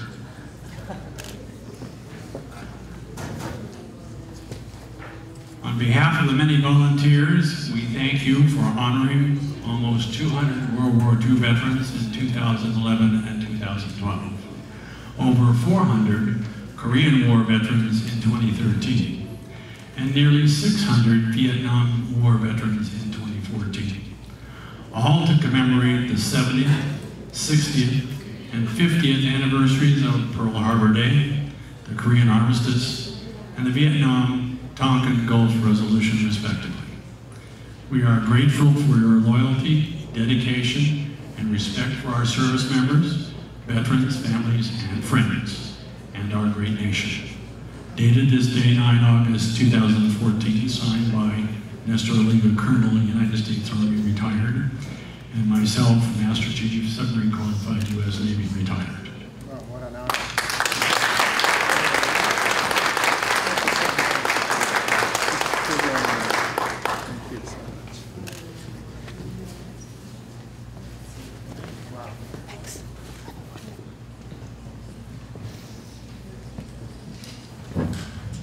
Thank you, Colonel Liga and Master Chief, for this honorable recognition. On behalf of our veterans, thank you so much.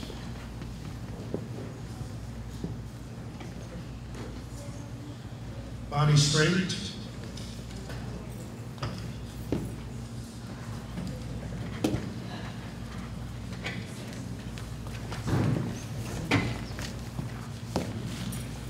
Good evening, everyone. Um, is my son Lane. We're here with Ward Elementary. Um,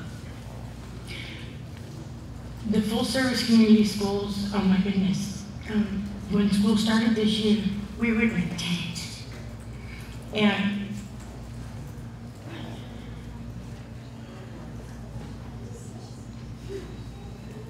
thanks to, I'm sorry, thanks to Miss Tiffany Jones, um, she has helped us with resources I didn't know we had. I volunteered with a couple of the was my son, and I didn't know we had the resources available. That she drove me around, she helped me get housing, she helped me find the things that I needed to to take care of my son. And I don't know what we would do without the full-service community schools. I came into the school this year scared to death. I'm not worried about it.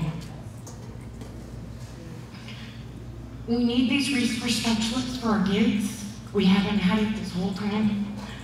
My son has some disabilities. They're being taken care of now.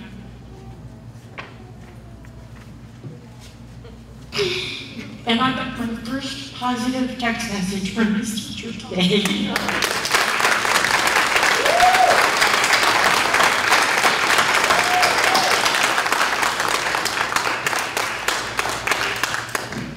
So thank you again for having the full service community schools. And please do what you can to keep these people here. Thank you. Thank you, Mrs. Maria Carmen Garcia.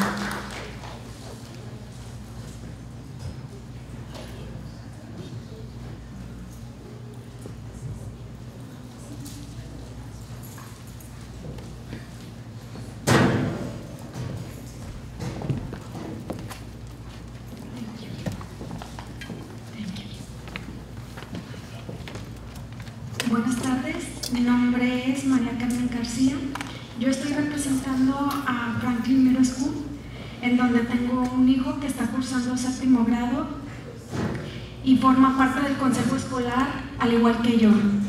Estoy muy orgullosa de mi hijo porque es buen estudiante. Y también quiero decir que el estar participando en las reuniones nos ayuda mucho a los padres para estar mejor informados y a los estudiantes para tener más interés por el estudio.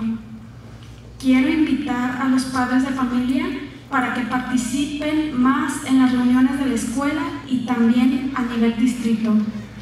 Por favor, háganlo por sus hijos y para sus hijos. Gracias. Gracias. Good evening. My name is Maria Carmen Garcia. I am representing uh, Franklin Middle School. I have a son that he attends the school. He's in seventh grade, and he, um, as well, um, he, he's part of the um, um, uh, side um, committee, um, same as I am. I'm really proud of my son because he's a really good student And I would like to mention that um, I have been participating at the meetings, and that's something that really helps the parents. And um, that's something that also um, is good because it tells us about information regarding the school. Um, and it's also good because we are able to have more interest um, for um, what our students are doing. I would like to invite the parents uh, to please participate in the meetings that take place at the school. And um, please if, do it for your kids and for them. Thank you. Michael Jones.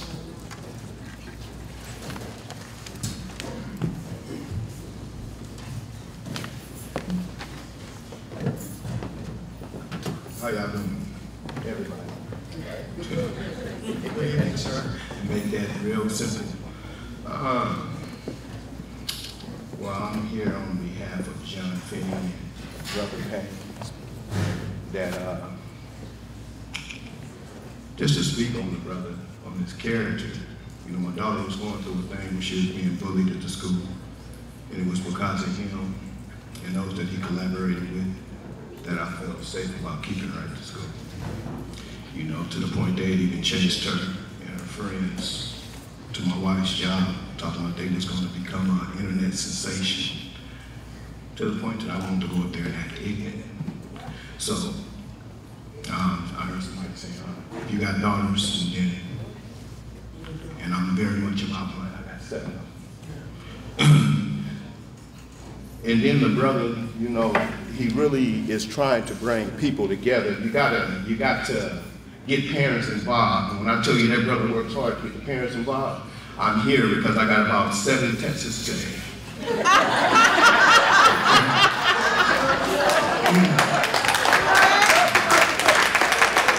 Thank God for Metro, huh? You know, and what he's trying to bring to the table is the rebuilding of the families. You know, uh, when you get to schools such as John Finney, you know, there's been a breakdown in the household.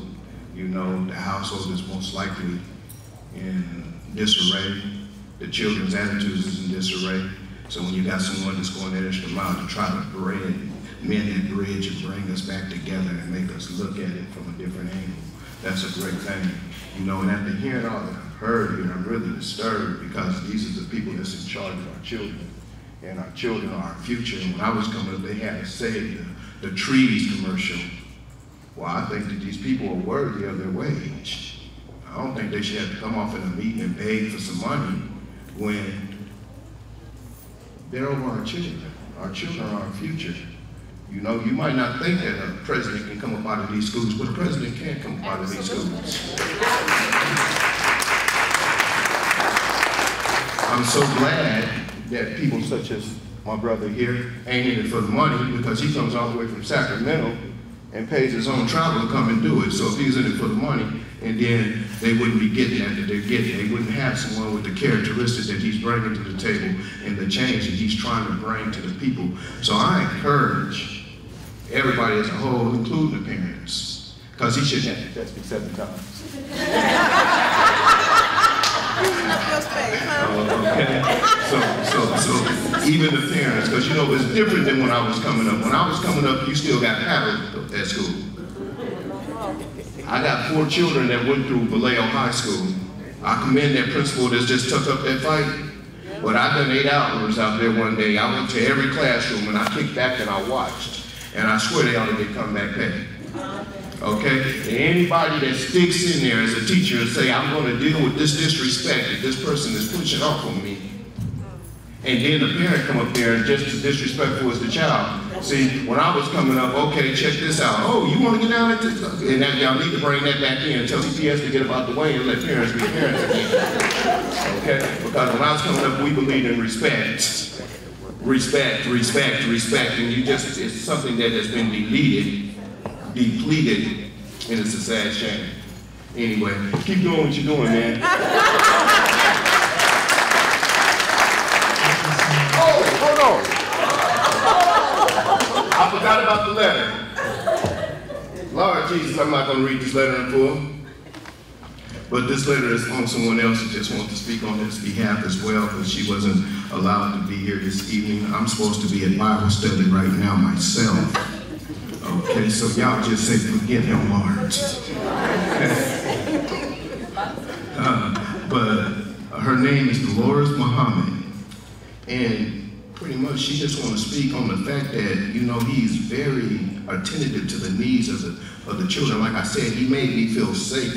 I was going to make my child go back to Vallejo High.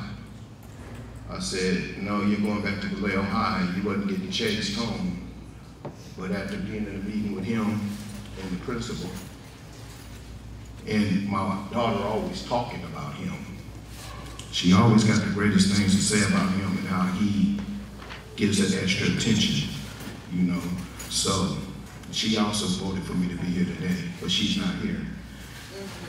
So, but she wanted to be known that he's outstanding and he seems very knowledgeable and he's very, he's a great leader, man. Y'all keep it.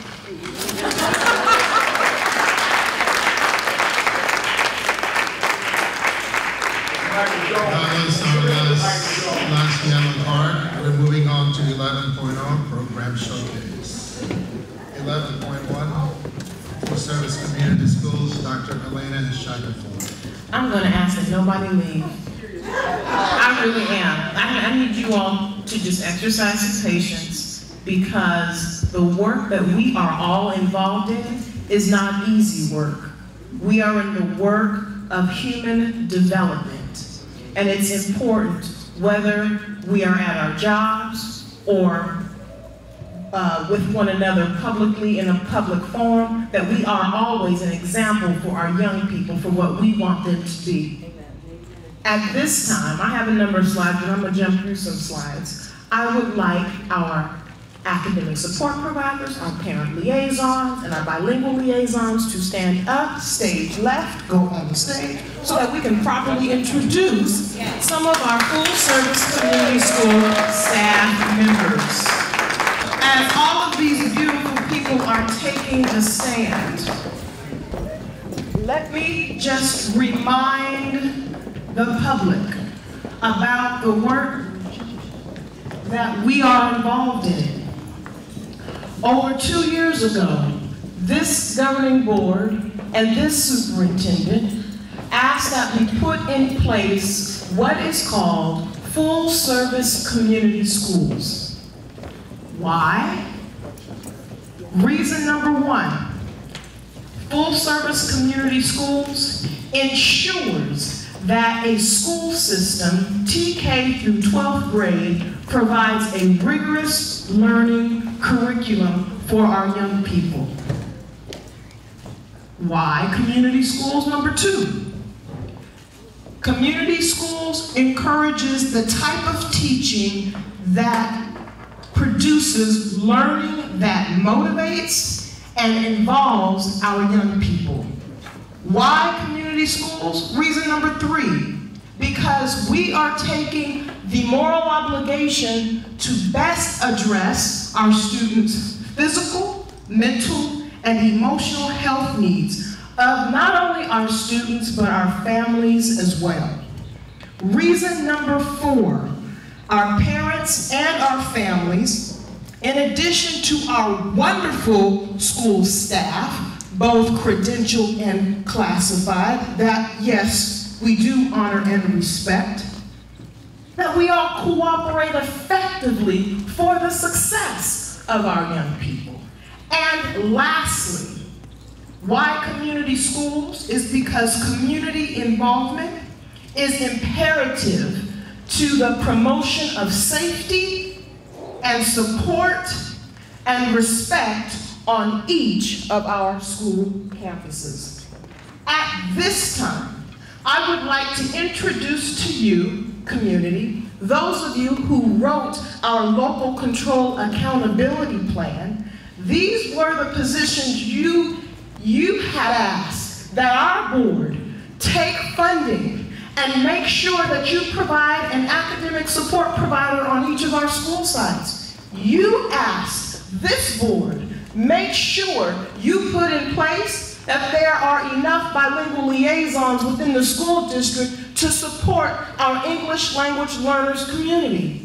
You ask, governing board, please put funding toward parent liaisons to where we can continue to close and build the bridge so that we can better communicate together. And that is who you see standing before you today. Us.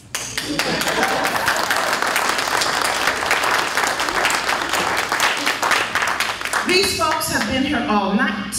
They have worked a full day. And I'm just going to pass this mic down. Please state your name, your role, and the school site you serve. Carmen Cassius, ASP at Loma Vista, and I'm proud to be there. Nicholas Bellamy, ASP at Patterson Elementary School. Juanisha Cox, Academic Support Provider at Cooper Elementary School. Carolyn Finley, ASP at Solano Middle School. Go, Carolyn! Elizabeth Soto, Academic Support Provider for Steffan Manor Elementary School.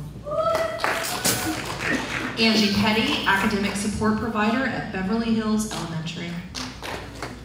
Paisley Rosengren, Academic Support Provider at Mare Island Health and Fitness Academy. Gisela Garcia, Bilingual Liaison for Steffan Manor, Glen Cove, Beverly Hills, Pennycook, Cave Language Academy, Hogan Middle School, and Vallejo Charter School. Kalia Hawkins, ASP at Jesse Bethel High School. Zeph Payne, John Finney, High School Academic Support Provider.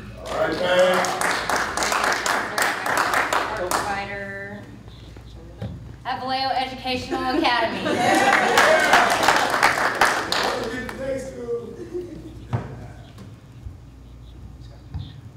Juan Zuniga, bilingual liaison at Vallejo High and several other sites. Uh, Michael Badger, parent liaison, uh, a whole bunch of different schools. Patrice L. Lewis, academic support provider at Hogan Middle School. Mark Victor, parent liaison for Solano Middle and eight other schools. Carla Monique Hill, ASP at Franklin Middle School. Claude Duke Brown, ASP Highland Elementary School. Paulina Torres, um, Bilingual Liaison Translator for the District Office. Ivan Zuniga, bilingual liaison for Jesse Bethel High School and eight other sites. Let us put our hands together and show these folks some appreciation and some love for the hard work that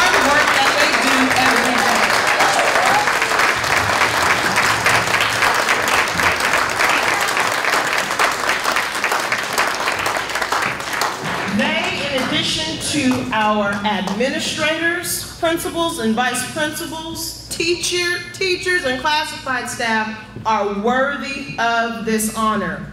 I would be remiss not to um, recognize at this time, one of the points I brought up earlier was why community schools and community schools works on building a system that has a rigorous learning community. Cassie Gossett, please wave your hand. Cassie Gossett is the wall-to-wall coordinator for our comprehensive high schools. And tonight was just a taste of what the service we received tonight was due to our hospitality academy. In addition to Vivian Loya, please wave your hand. For our nutrition education, and prevention program. We appreciate you young ladies, and we also thank you for your leadership and support on tonight. Thank you, academic support project, Dr. Leon, and President. I'm going to move right on to our video. Part of the full service community schools construct is for each of our sites to host a fall and a spring family night. And what we have here is just a taste of what's been happening since the start of school. Give me some sound.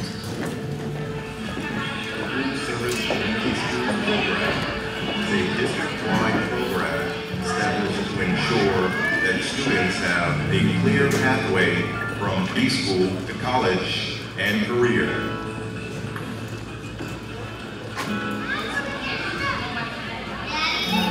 It provides comprehensive academic, social, mental, and physical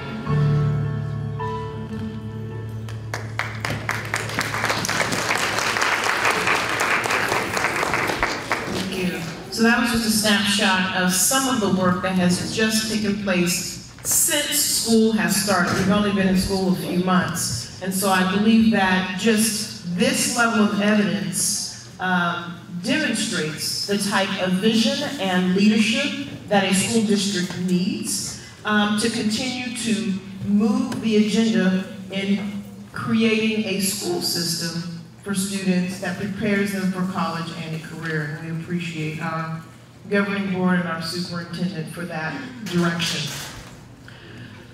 So what you're seeing here has to do with how we are creating um, and continuing to build upon creating a positive school culture. It requires what we're calling here integrated interventions, which looks at three of the best practices that research speaks about regarding um, creating that type of culture. The first practice is positive behavior um, intervention and support. The second is restorative justice, and lastly, positive youth justice initiative.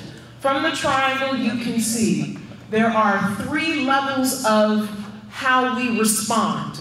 The first level, entitled Tier 1, addresses 80 to 90% of any school campus if implementation is done well. Those particular practices, specifically um, the PBIS, will take care of that 80 to 90% of our student population. And as we move up the triangle, tier two, that's our 5 to 15% of students who need further support. And for this particular tier, we have our restorative justice and restorative practices in place. And lastly, for our students who are at promise, as Dr. Brown Garcia had mentioned earlier tonight, our tier three students, which represent one to 5% of our student body who need more support in order to be successful, we have our Positive Youth Justice Initiative. Now, on the right-hand side of the triangle, you can see that whether you're tier one, tier two, or tier three, full service is for all of our students. And so you might ask the question, okay, so how does all of this play out regarding our student information system? How are you all able to maintain what's happening with which students and who's needing more support than others? At this time, I would like to invite to the podium Lori Ortiz, our technology professional development expert regarding our student information system. Lori. Thank you. Um, currently, our student information system, the admin and the academic support providers, they have access to what we call our at promise students. So it's based on a point system. So the higher the points, uh, the more the student might need um, intervening for their success at school. So um, all the names that you see here, um, the names have been changed to protect the innocent. So uh, Ben Shackelford up here, he has a total warning point of 70 per 70. And we have several categories so you might think, okay, well maybe he doesn't do well in attendance. But if you look at the breakdown, um, you'll notice he does well in attendance. He might like to come to school and socialize. But with his CAHSEE scores, you might not, not see that, but it's in red. So he hasn't passed it, so he scores 10 points. For his CAHSEE math, he scores another 10 points. For his CELDT, overall, he's at below basic, so he scores 5 points.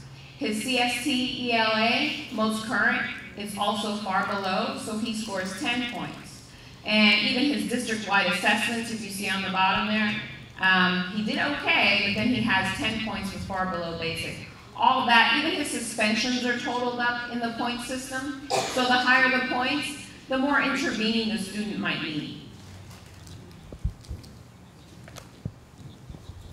So these are all our students, and like I said, all the academic support, these are all the students who have the um, at promise points, if you might say. So like I said, the higher the point system, the more intervening they'll need for their success. Um, and all the academic support providers and admin at the sites have access to this information. So they'll be able to do one-on-one -on -one for just those kids.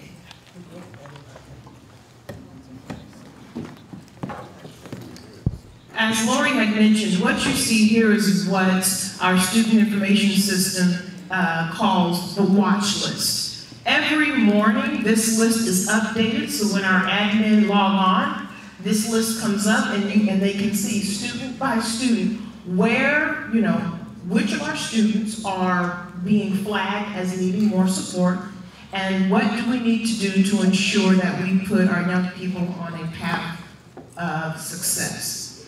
This particular side you will see um, the number of resources that we have throughout the district.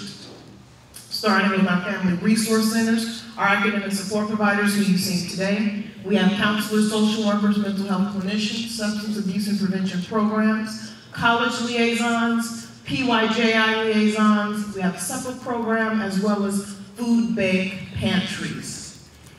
This particular slide is a listing of where all the family resource centers exist. So if you look at the blue column across, you will see the particular staff that works with Fighting Back Partnership.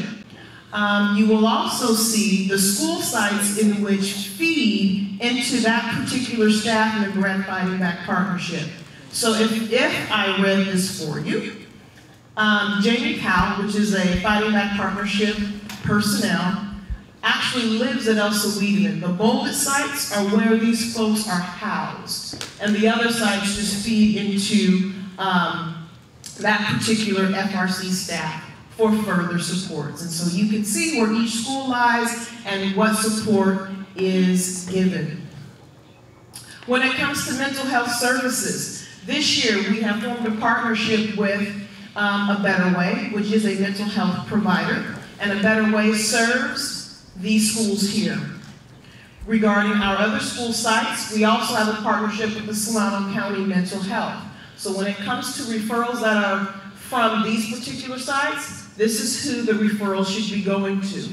And lastly, as you all know, we, um, we applied for a grant a couple years ago entitled Project Restore, which um, has provided us with funding for counselors and social workers. And these are the school sites which have those full-time counselors and social workers. Kaiser Permanente, this year was our first year of incorporating resident doctors onto our school site. You will see in this first column, these are the school sites that have been assigned a resident doctor for this school year. Next year, these are the school sites that will be receiving a resident doctors. These doctors will stay in place. And for 2016-17, we will get an additional uh, six resident doctors from Kaiser. All to help us with our integrated intervention system and really being able to provide each of our school sites with the necessary support regarding the um, topic of trauma-informed care as well as community health. So I'm going to give it back over to Lori so she can speak more to our uh, student information system that we use to help support us in this work. The student information system that uh, we're going to be using, uh, the teachers are going to be using are is Aeries.net. When they log in, even the admin, when admin logs in, they'll be able to see uh, percentages and charts on um, the attendance at their schools and so forth, and also their math uh, tests, self-scores. They'll be able to see all that information right at their fingertips, and it's updated every night. And pretty little charts. You can click on the next one. When they also log in, they also see the first screen is going to be their total enrollment, and for today and prior days, for the whole school. Um, they'll also have access to interventions, and uh, this is what they'll be able to see all the intervention details, the stakeholders, the goals, the progress comments, meetings, prior interventions, reasons and concerns, their student strengths, additional resources and practices. Uh, coming soon, the teachers will be able to go online and do SST pre-referral interventions. So they'll be able to see this on their navigation panel and click on the pre-referral interventions. And they'll be able to add an intervention for the SSTs. So they'll be able to click on the detail, click on interventions. They can add whatever interventions on there that they try, like change the seating and so forth. They can click on the reasons why they started that intervention, and then they can set up parent meetings, parent meetings with their contacts. They can also put in detailed in referrals, um, also the teacher information up there. They can put their student strengths, their reason for referral, um, and any prior interventions that the teachers might have tried. They save that. Then they send that for an approval So the admin would log in and they'd see that and they can either approve or deny the uh, referral. When they approve it, they'll be able to set up a meeting, put in any comments, and then they can add all the stakeholders and those stakeholders would get emails to the meeting and be informed of the progress. They'll also be able to print a success plan for the student too, um, and they'll be able to see that as they log in. So we just have given you just a quick summary of the case management system that um, will be implemented within the next couple of weeks. We begin to train all of our staff on utilizing this system. Um, we're very appreciative to one of our community partners, United Way, who actually paid for us to get this system built. We are the only school district with this level of case management um, and have been working with Aeries for the past year and a half to get this level of detail incorporated into our student information system. United Way paid for this, $50,000, and we appreciate their partnership and their support. Again, this is all part of being a full-service community school. We cannot do this work alone, and we depend on not only our parents, but we depend on our community partners in ensuring that we are successful with our young people. And as you can see at the end of the day, we just want results. I believe everybody in here wants the same thing. We all want success for all of our young people, whether it be in children being ready to enter school, students and families being healthier, students graduating, being prepared for college and career, families are increasingly becoming involved in our school sites. Schools are now engaging with families and communities, and our communities are becoming desirable places. How many y'all know stuff don't happen overnight? This takes work. This takes time. This takes you and I coming to the table and continuing to be solution-oriented around the things that we see. So governing board superintendent, we thank you for this time, and we will take any questions.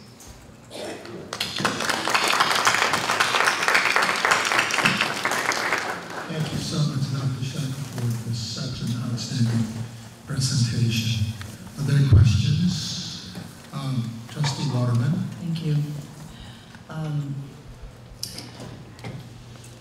uh, so this is a very exciting moment for us. Obviously, we've been very excited about this, and I'm glad to see how comprehensive the Aeries system is. Um, there's a lot of data input. There's a lot. I mean, it's data driven? But it's obviously there's a lot of um, uh, tracking that goes on every single day, and um, I know that it's very likely the teachers that are going to be doing tracking, or could you speak a little bit more about who documents, like for instance, as you categorize levels of intervention need, you do the tallying at the end, um, who is the person, who are the people inputting that data, and what kind of, um, what kind of, um, how often do you see it happening? I mean, you know, a class or a school of 800, 600 is a, is a large group of kids to be tracking every single day. Could you speak to the, um, the tracking of those numbers a little bit more? Am I speaking English? I don't know. Yes, you are. Okay. You mean for the SST referral? Yeah. So, SST referrals. so when it comes to the inputting of the detailed information of a student success team action plan, right? Right. So we have a student who's been referred by an adult on site. Right.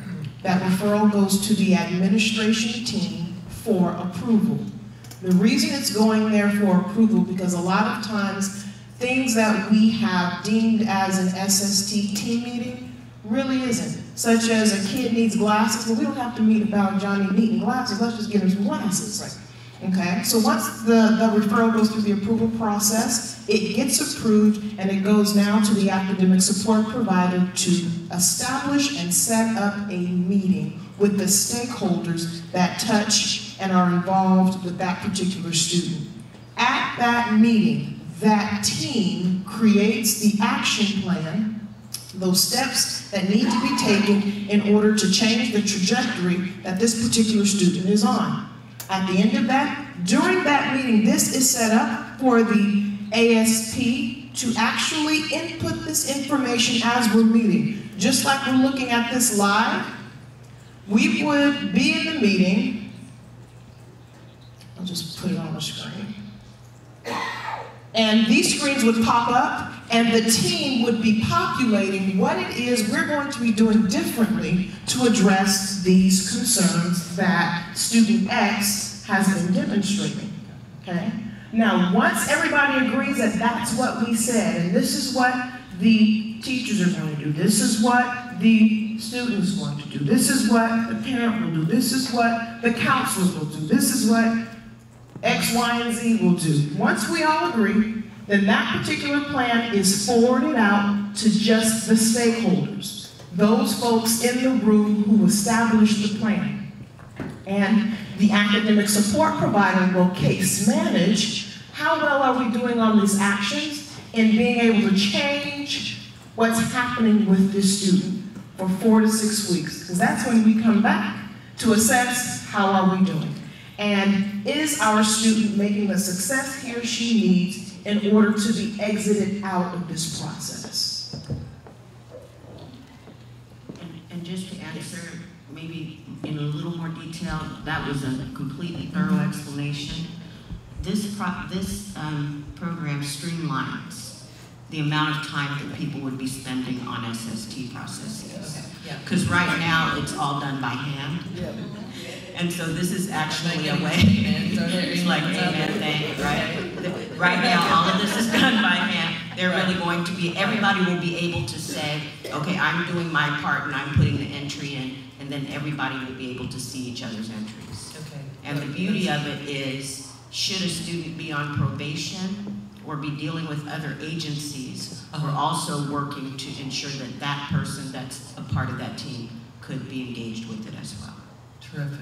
Okay, yeah, you, you read the subtext, which was like that is Yeah. a lot of input, and um, and where and that's where things will go south, right? If, if if someone just doesn't get around to it and it's not kept up time in a timely way.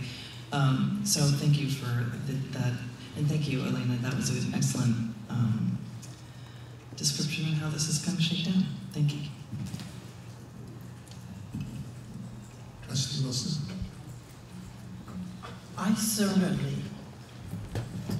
appreciate um, the um, administrations, the teachers, the staff, the parents, and the students who were here tonight. It should have never been a question as to why, if the presentation is on full service community schools, that the people we serve should not be here to make um, to let us know what's happening with the programs. They're the persons who are benefiting or being, or maybe have some, some uh, tweaks that we may, may be needing to, or some comments. So there should never be a question as to why you were here tonight. So I really, really, really appreciate.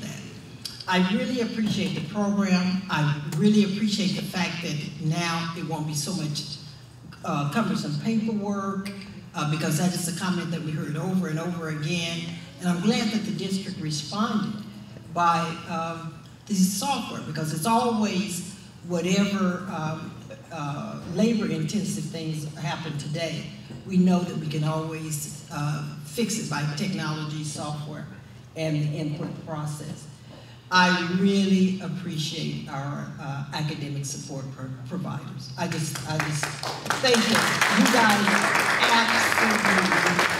absolutely wonderful, just absolutely wonderful.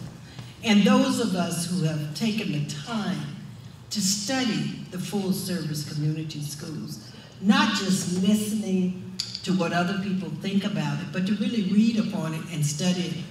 Go online and look at uh, full service community schools. Go to the National Association of School Resource Officers report. Clear what we're doing, full service community schools, restorative justice, positive youth justice intervention. So it's always, um, uh, I, I just like the fact that we're doing unique and innovative things. And I hope that we are able to sustain our progress. I'm very anxious. I know that it's going to, to take time to see um, uh, change, great change, because I hear a lot of people saying, this is bad, that's bad, but what I don't hear is a solution. I don't hear anyone offering any solution.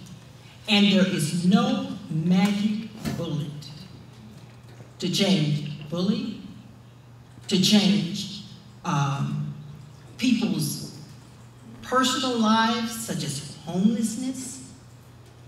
But this district is addressing the needs of the students that we serve. And that's something that is not happening. Now, I, th- I think it's very interesting that at a forum, uh, people keep saying, look at Fairfield, look at Fairfield. Fairfield wanted to know whether or not they were going to be part of our grant. They, why, why can't we have these same services? We've got similar students, and I hope that they do get their grant. But I really appreciate the fact that we are doing this because we're serving our students. And I also want to give a shout out to our uh, uh, site safety officers.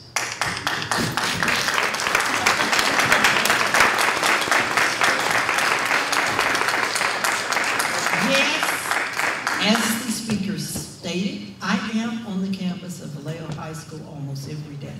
I've never said that I have not seen bullying. On any campus where there are children, you're going to see bullying. But what I can tell you that I have seen, particularly this year at Vallejo High School, is a much calmer campus. Kids are in class. I see site safeties all over making sure that things are happening. The administrators are out on the campus. They're clearly visible. It's clear to me that the report, both internal and external, was taken to heart by this district. And I just appreciate all the efforts. One of the things that was also commented on was about um, our response to the first grand jury report, that we had not responded or that it wasn't made public.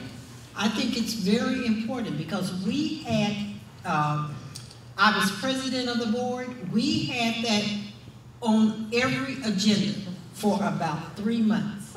We held meetings not only on Mare Island, we held it at Vallejo High School. And yes, I want everyone to have copies of the response to our, our, uh, our response to grand jury, to the first grand jury report, including the internal, the independent um, investigators report. I think that's what is very critical. Thank you.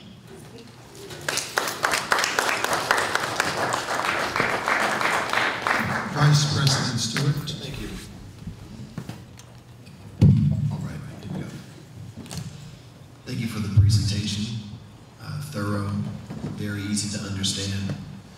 Um, again, for all the folks that we saw on the stage this evening, that is the support and backbone for the programs that we have in place. You know, a couple of years ago, full service community schools was just a concept and we were trying to determine what were the, the elements that were really going to support the needs of our students, but the, the broader concept of supporting the community and the various needs in the community. And now we're in the implementation process, and it's just a beautiful thing to see because it was a lot of work that went into getting to this point. So again, thank you to all of the staff that have been in their position doing what was necessary to get to this point. We have a long way to go, but we have a plan.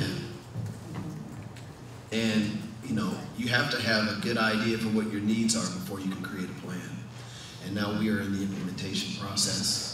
Um, we can fine tune, we can refine, we can grow the programs. You see all the partnerships that are in place with all of the various organizations throughout the community. We are very active to support our students and our families. And I, I, we're just in that position now to uh, develop this further, and I couldn't be happier with uh, the process that we've gotten to this point. Again, we're not putting on the rose-colored, rose-tinted glasses and saying everything is fine. We know there are serious challenges in the community. You know, poverty, our, our children not eating, our, our families that are broken, folks that feel like they have to rob, cheat, and steal. But this is our community, and we have to build everyone up. And we're doing it by finding solutions to those problems, not by pointing fingers. And so again, to all the staff that's put in hard work for this, I thank you. This was a concept, and now it's being implemented, and we're going to see it grow. And I, I just can't wait. Thank you.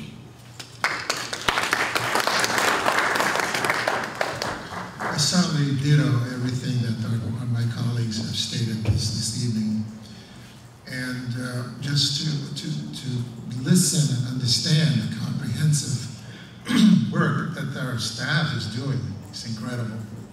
And I too want to salute you and honor you for all the hard work and the commitment that you've given this program. Uh, Dr. Shackelford, this is your baby. And, and one of them. no, one of them. One of them. It's one of many. one. one of them. And, and uh, you must be very proud because you have worked so hard.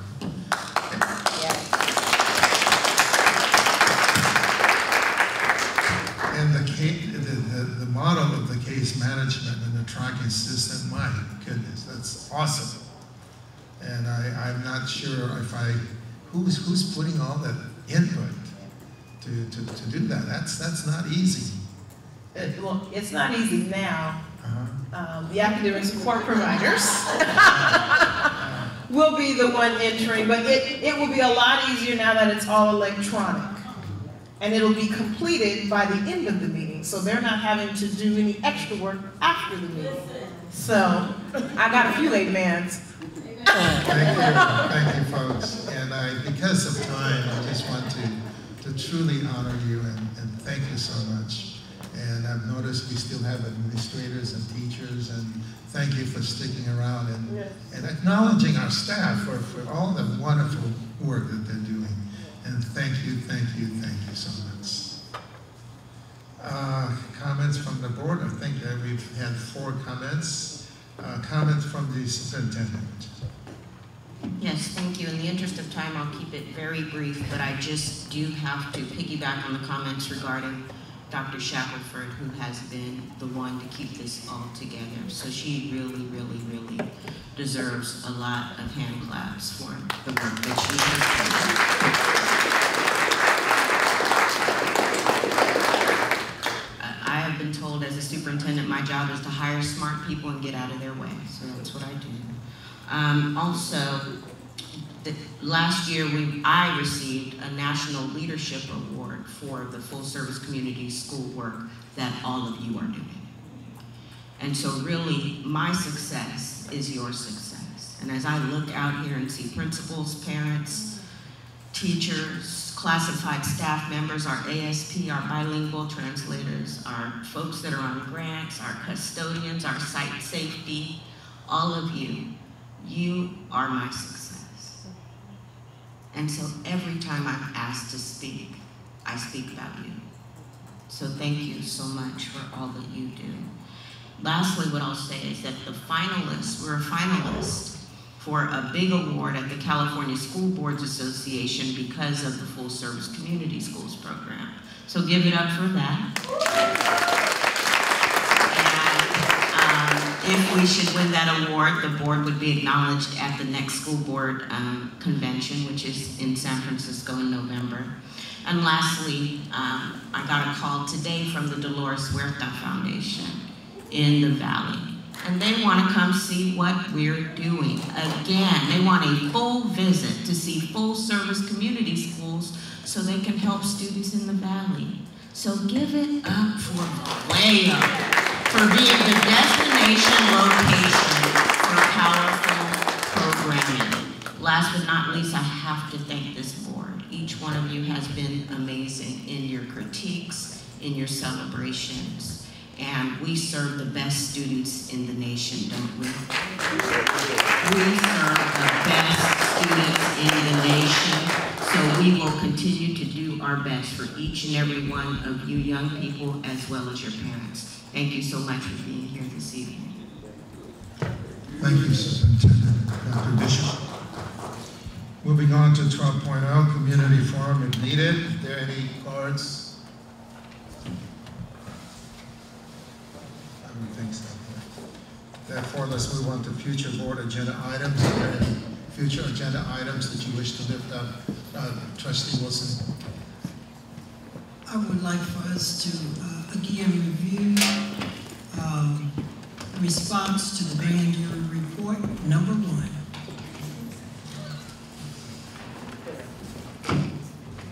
Thank you, Trustee Wilson. Hearing none, let's move on to announcements of upcoming meetings.